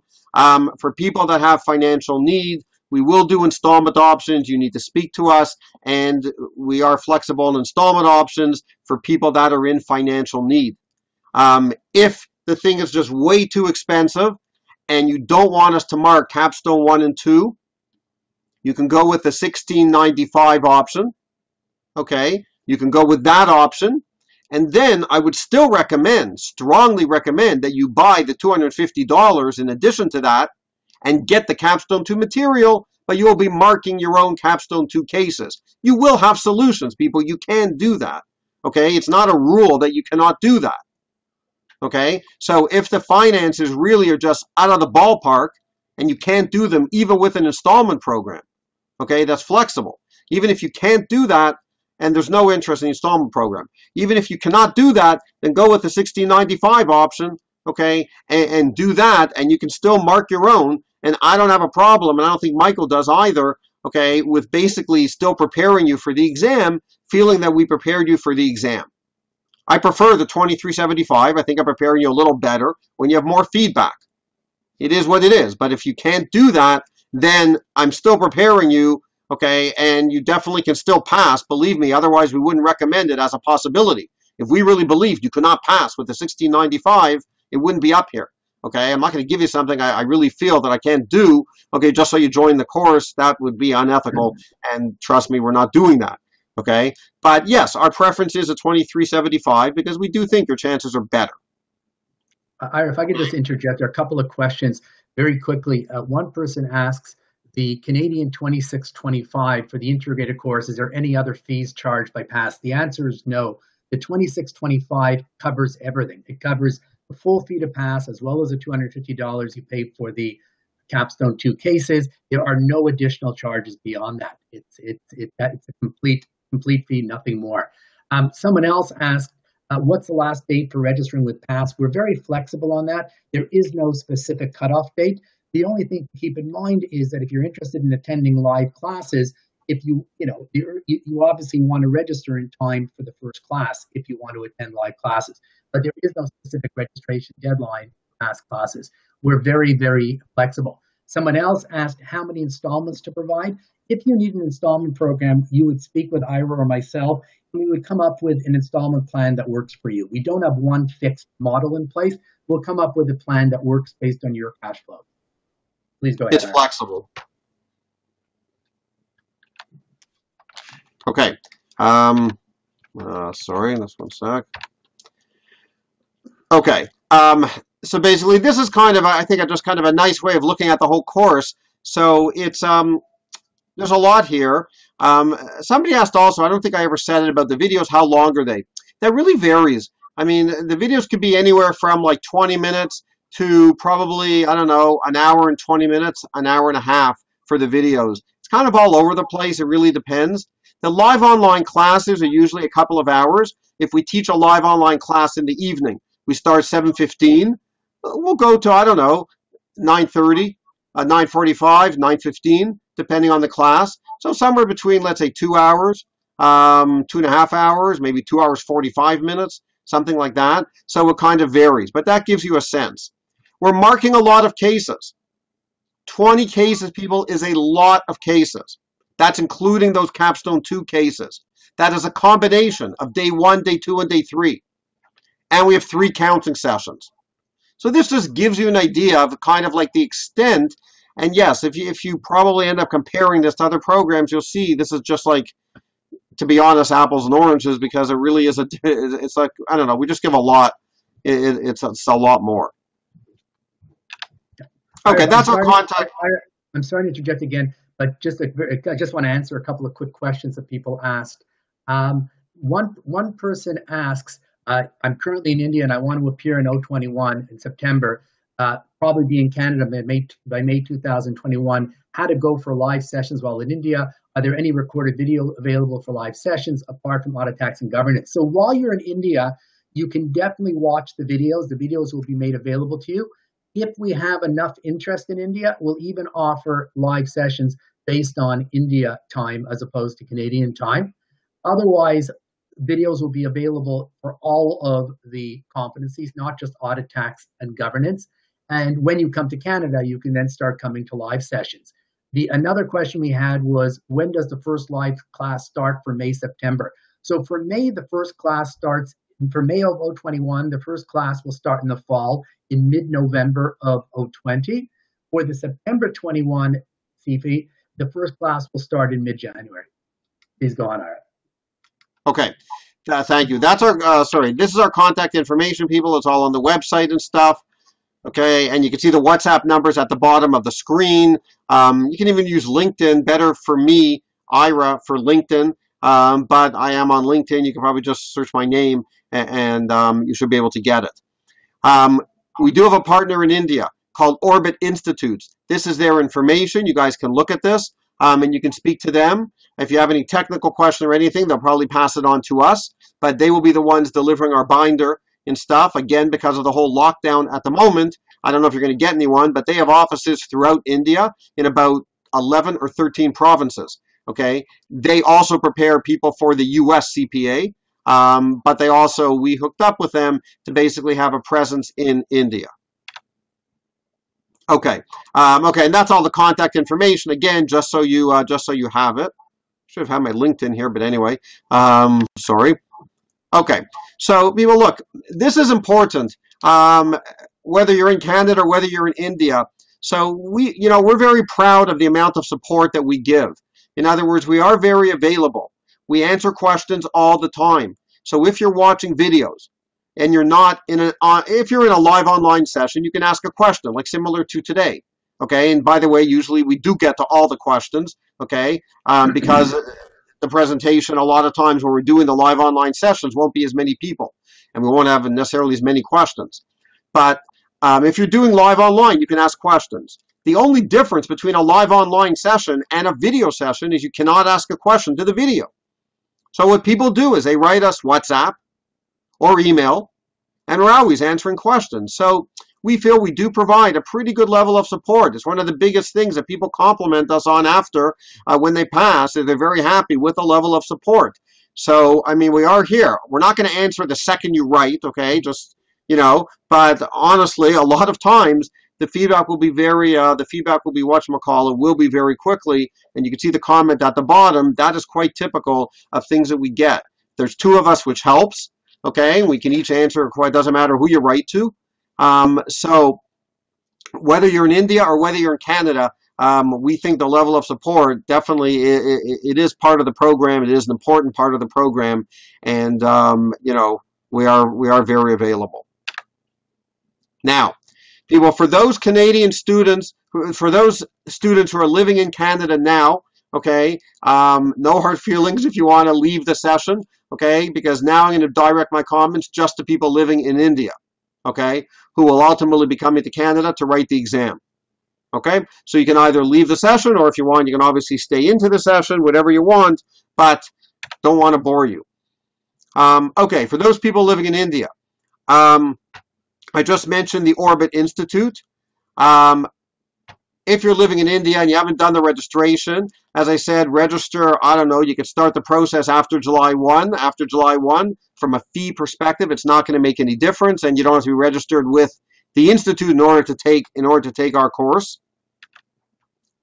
Um, every province has a separate institute. People, this might be a little different than in India. I think it is. So every province has a separate institute. So the only difference on which province you register with is that you will be writing the exam in that province. It does not matter where you live. It does not matter where you work. But if you register with Ontario, then you will have to write the exam in Ontario. If you register in British Columbia, you'll have to write the exam in British Columbia. The next day, okay, I don't care. You could you could have a, a permanent home in Ontario and register in BC and you'd have to fly to British Columbia to write the exam, and you could fly back afterwards to Ontario. It doesn't matter.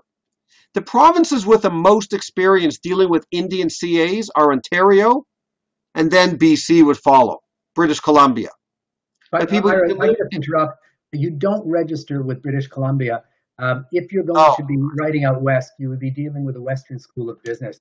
Uh, all of the Western provinces, you register with one place called the uh, Western Western School of Business. You don't for the Western provinces, BC, Alberta, and Manitoba. You don't register directly with the province. Yeah, thank you very much, Michael. I keep saying British Columbia because usually when I speak to people out west, that's where they're living. Um, I don't know, whatever. It seems to be more popular. But yeah, as Michael said, he's right. Okay, you could live in Calgary, you can live in Edmonton, you could live in Saskatoon. Okay, these are all different places you can live in, different cities. Okay, but as Michael said, you'd register with the Western with the Western School of Business. Okay, we live in Ontario, and again, there's a lot of Indians, uh, uh, you know, that will live in what's called that will live in Ontario. Um, okay, so if you want to find more information, for example, okay, on how do CAs in India go about this process, for example, you would go to this link, for example. Let's say you let's say you were thinking of Ontario.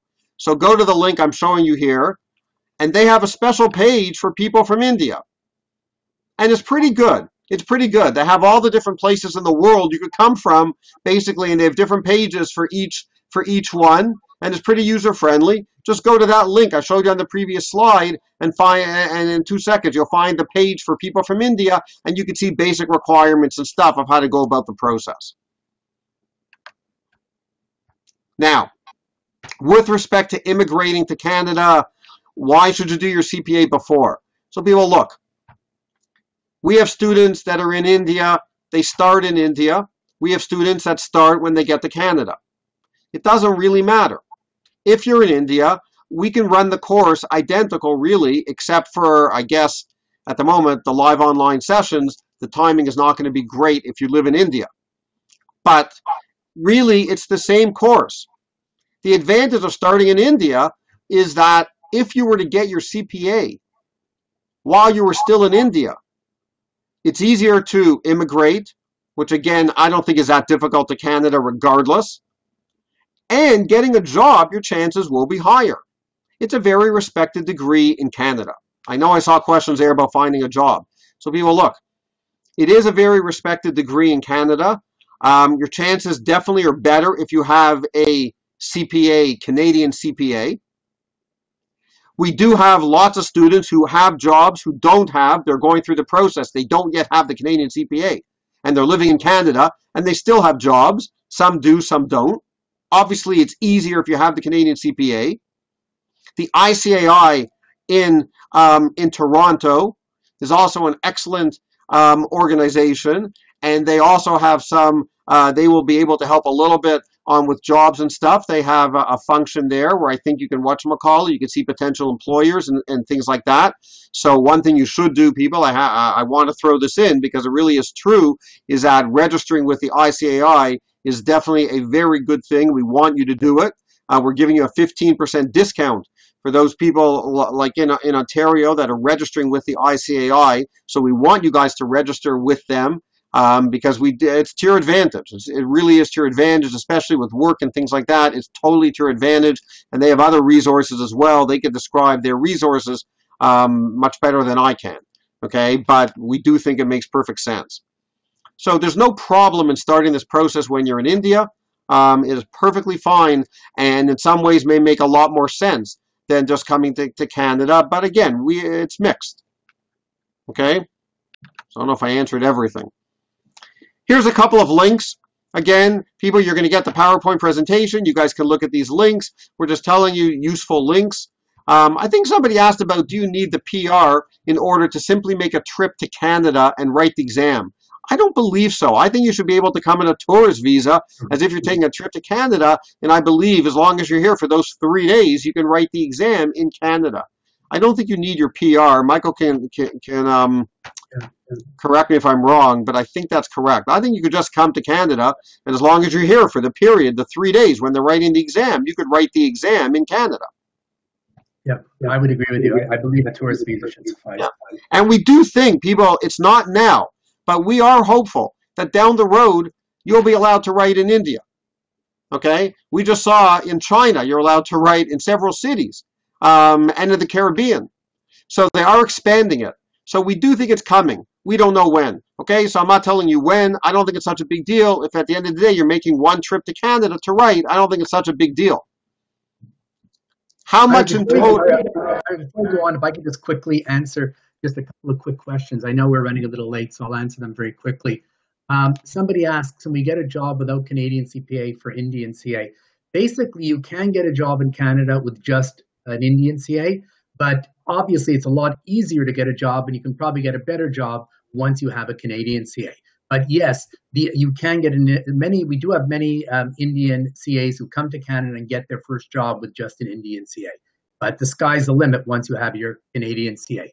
Um, someone else asked, uh, you get more immigration points if you have a CPA. Now, again, Ira and I are obviously not intimately familiar with the whole immigration process. We just have a general knowledge.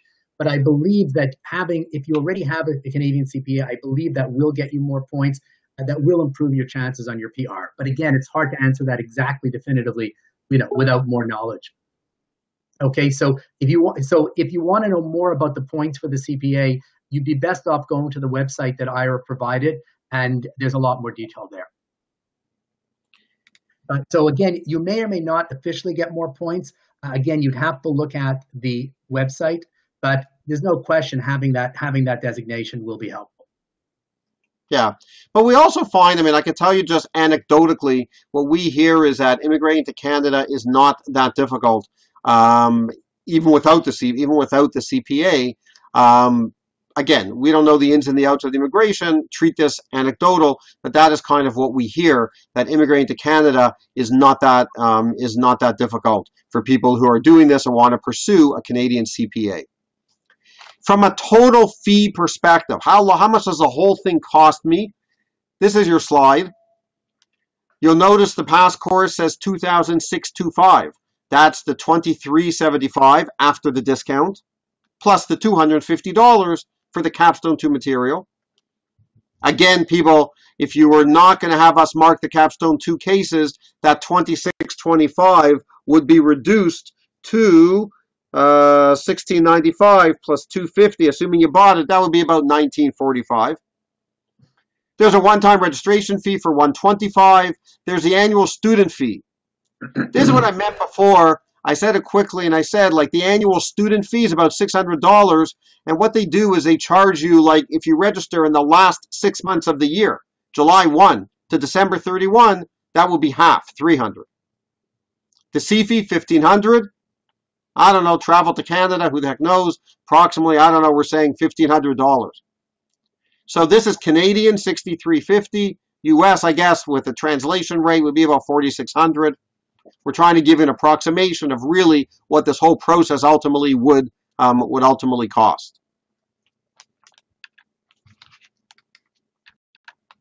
Okay, so people, just to conclude, I know it's been a little longer, and I'm sorry at the beginning. Um, I don't even know what time we said, how long it would take, but basically a lot of questions. Um, all right, so just three important takeaways. Number one, yes, it's doable in India. Yes, you can work full time. This is not meant to be a full time thing. The earlier you start, the better the chances are. Practice is important. We give you the support, the materials, and everything like that. Um, you don't need perfect technical before you start case writing. That last point, we just have to emphasize that because we know it's different than what you did in India, and we want to make sure you understand. You're going to be writing cases. You will not be thrilled when you first start writing, but that is part of the learning process. It is very doable, um, you know. And look, just remember one thing: anybody with an Indian CA is pretty smart. We know it's a very difficult process in India. Okay, so you're already starting with a major advantage. Yes, you have a disadvantage that it's a different system and English also sometimes is a disadvantage. So we have to work through that. And again, we try our best with the whole program. But you're also starting with an advantage, and that is you've already passed a difficult technical exam, more so than Canadian students. Okay, so that isn't that is an advantage that people have with an Indian CA, and quite frankly, that's probably the logic in why you don't have to do the Canadian system, and why you can get off Capstone One and Capstone Two. That's, I'm sure, the, the underlying logic. So there de it definitely is an advantage. This is very doable. We think the program is, you know, we're very happy with the program. We think it's working. Again, we now have experience um, with people not even going to Capstone 1 and 2, and we give a lot of support along the way and are very happy um, to speak to anybody, WhatsApp or anything, if you want to contact us. And again, we can give you uh, more details. So I hope People, I hope um, everybody found the session useful. Um, Michael, do you have any other, are there any other questions that we didn't address that you want to ask? That really concludes the formal part of the program. But if there's any other questions, if Michael sees them that we want to address, uh, we'll just address them now. And uh, we'll send the uh, copies of this and the recording to everybody. Michael, you're Michael, you're on mute. Michael, there actually, please. There actually were some questions that uh, that people asked.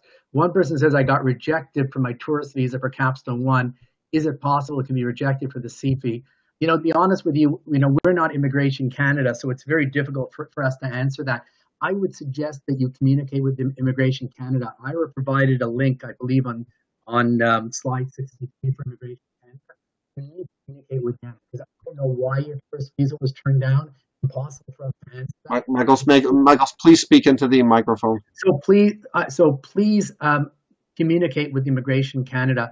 Um, we, we, obviously cannot answer that question ourselves because uh, we're not Immigration Canada. I don't know why they turned down your first request for Capstone One, so you need to communicate with them. I'm sorry that we can't uh, we can't answer that. Um, the someone else is asking uh, that they're a PR holder, they're moving to Toronto uh, after the lockdown, and you want to know about what documents you need for registration with uh, the CPA Provincial Institute. Ira provided a link for CPA Ontario. Um, if you uh, for international students, if you go to that link, it talks about the various documents you need. So please go to the link. I believe the link is provided for CPA Ontario on slide 60. So if you go to that link, you can learn more about the specific documents you need. Okay, uh, so you'll know that well before you come to Canada. Okay. Um, you, another person asks, how soon would we suggest uh, you enroll for the classes if you're planning to give the CFE in September 021? So as we said earlier, you know, um, it's if you have a full year, that would be great. So you know, I would try to register by no later than uh, than September 020. If you want to even register earlier, like right now, it certainly can't hurt. We said earlier there are some students who will take even a year and a half to prepare but I would try to do it by latest, just to give yourself the best chance possible. I wouldn't wait till much after September 020, and then you'll really have a full year to study, which would be which would be wonderful. Yeah, just just to elaborate, people, look, we have students now in the course that are writing September 2021. Okay, we have people now in the course. There's just as no big downside, to be honest, if you really think you're going to do this, to starting earlier. So, you know, you can write more of those practice cases. You can start studying your technical. And there's a lot of videos and stuff. You don't have to watch necessarily all the videos, but you can start watching the videos. So as Michael said, you definitely can wait like several months. But if you're just going to be waiting, okay, I'll tell you one thing I would not do. If you're just going to be waiting several months because, I don't know, you're worried about some payment arrangement or something because you're starting earlier, please speak to us first because I would not want, quite frankly, and I think Michael would agree with this, I don't want that to be the deciding factor. If there's things in your life between now and the next few months, whatever, and it's not a good time to start, then of course you can start a year in advance. That's perfectly fine. But if you're going to wait just because of the money aspect, then you really should speak to us. Okay, because that should not, I don't think that's a very good reason, and I think it will help you if you start even earlier. So, and we can keep you busy. Okay, we don't have a problem keeping you busy. That's what we do. So you know, um, that that's not a good reason. Okay, if you have a legitimate reason, fine. If it's work or personal, whatever, there could be ten other reasons why you want to wait a few months. I get it. But if it's just going to be the money, not a good reason because we can work with you on that. And you know, again, if it's financial need and installments and stuff like that, we can work with that. So then you really should be starting before September. Other questions? Michael, did you see anything else? I'm just looking. Um, I think we've answered most questions. Guys, if there's anybody where we missed your question, if you don't mind asking it again now, that would be great. We hope we've covered off the we hope we've covered off the questions. Yeah, just copy and paste it. Just copy and paste it, and again, I'll if look we, at it if also. We, if we've missed your question. If we missed uh, okay. it. Okay, I think there's some questions coming then. What you see? About the validity of somebody asks about the validity period of videos provided. I thought I had addressed that. Basically, the videos will be available to you to watch as many times as you like, and you will continue to have access to the videos until you pass your exam. So hopefully you'll make it the first try. If you don't make, if you end up having to write twice, you'll have them available until you until you pass, however long that takes. Any other questions? Uh, I think we have some other. Should questions. I should I wait till I have enough experience for the CPA to appear for CFE? So I think that question Rajat's asking. I think that question um when you say experience, I'm not sure if you mean like work experience. People, look, I mean, as Michael said, he, he Michael outlined before that you need like, um, if you don't have a university degree, you need five years. If you um, have post qualification, if you have a university degree, you'll need two years. Work experience is not really, um, from an exam writing standpoint, that important. Okay, it's more important for when you ultimately qualify. So um, you know, this is an exam. If you're in study mode, in some ways that's even better. You don't have to be. I'm not saying you have to. We have lots of people from India who got their Indian CA in 2010, 2012, 2014. But there's no question if you if you just got it like 2 years ago or a year ago and you're in study mode, that does not hurt. You don't really need, okay, to be working in industry or in public practice for two, three, four years in order to feel more competent to write the exam. No. They have their certain guidelines on how many years you need to ultimately qualify for the CPA. But from an exam writing standpoint, to pass the exam doesn't really matter. Doesn't really matter. Okay, so I, I think I answered, hopefully I answered that. There's someone else who has a question here. Um, if someone is having interest in finance and stock market related activities like fundamental and technical analysis and assistance in financial planning and want to choose it as a career, what is your suggestion? Again, I'm not sure what your question is. Are, are you asking whether a CPA would be useful for that? Uh, you know, I think a CPA would be useful, although to be entirely honest with you, uh, if you're going for a career in finance, you can either do a CPA or you can do a CFA depending exactly on where you're going to work, one or the other may be useful, or they may both be they may both be useful. Um, someone else asks, is it easier to be a Canadian CPA through an MOU with India or through or through the US? Because the person here holds, I guess, both a US CPA and an Indian CA. Uh, to be honest with you, if you if you meet certain conditions, you need to speak to the provincial institute you're dealing with. Somebody with a US CPA may not even have to write the CP, but there are certain work experience requirements. So you'd have to speak directly to the provincial institute to see if you have the experience required necess- experience requirements necessary. Once you have a US CPA and you have certain experience, you may be able to avoid writing the CP completely. So before you before you write based on the MOU, please contact the whatever provincial institute you're dealing with and discuss with them your specific situation, and that will determine whether whether you can avoid writing the CPA or not by using your US CPA.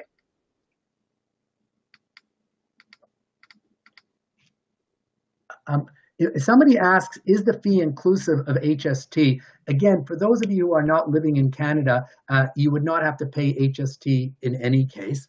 Um, otherwise, people living in Canada, you know, HST is, is, a requirement. The fees we gave you are, are not um, do not include HST.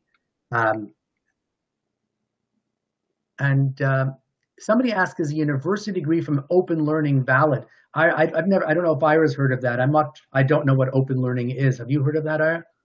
Yeah, I mean, uh, to be honest, I don't think it's something that either of us is really competent to answer.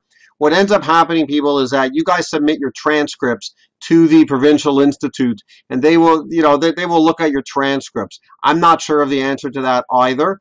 Um, but you know what I mean, like what they count. Again, I've always understood that it's pretty, it's a pretty wide range when we talk about the university degree. Um, it's a pretty wide range that I think they will accept. Um, and the impact again is whether you need two years or five years of experience. So uh, again, I think it's pretty broad, but that's something really that they would be able to answer. You just have to speak to one of the provincial institutes in order to ask them, and they probably will tell you, please submit your um, please submit your transcripts from the university, and then they'll make a then they'll make a determination. And um, somebody was asking about articling. Somebody's asking, um, you know, in India, you have to article with a CPA firm. Uh, in Canada, the, if, if you if for Canadian students, they also have to article, although it's a lot broader. They can article either with a CPA firm or an industry. If you're coming as an Indian CA, as long as you have the required experience, there is no articling required. So the vast majority of Indian CAs do not need to do any articling in Canada. Okay, uh, thank you for clarifying what open means. Uh, I understand that, that, it's correspondence, not a regular college, but as Ira says, that's something that the Provincial Institute would have to deal with. We, you know, we're just not qualified to answer that. Okay, oh, there's a follow-up question here. Yeah, Rajat, I thought I answered that, but you're saying, will it mean work experience after two years or whatever? You're asking, you know, when you should write the CFE. So, so again, yeah, you can write the CFE even if you don't have that work experience, but ultimately, you know what I mean. You would need the two years or the um, or the five years work experience, and no, it will not make really much of a difference on your potential for success on the exam itself. I think Michael answered, is a fee inclusive of HST? Again, people, if you're writing from India, there is no HST because you're a foreign student. Um, if you're writing, so yeah, so anyway, um, if you're writing from India, it's not going to matter. You're not going to have any HST. Um, I don't see anything here. I don't know, Michael, if you see any other questions. Yeah, I think we I think we've answered all the questions. Um, so I just I just want to thank everybody for for attending the session. It was a pleasure delivering it. Um, I hope everybody learned. I hope everybody learned a lot about the process. Um, as as Ira and I mentioned at the beginning of the session, you know, there's no question after you leave the session, you may think of further questions. That's why we provided you with contact information. If you have any further questions, please feel free to email us or WhatsApp us or contact us in any of the manners we've indicated on the slide, and we'll answer any further questions that you have. Okay, so people, thank you very much. I guess we're going to sign off now. And again, we hope everybody found it useful. And that really concludes the um, PASS uh, session. Take care.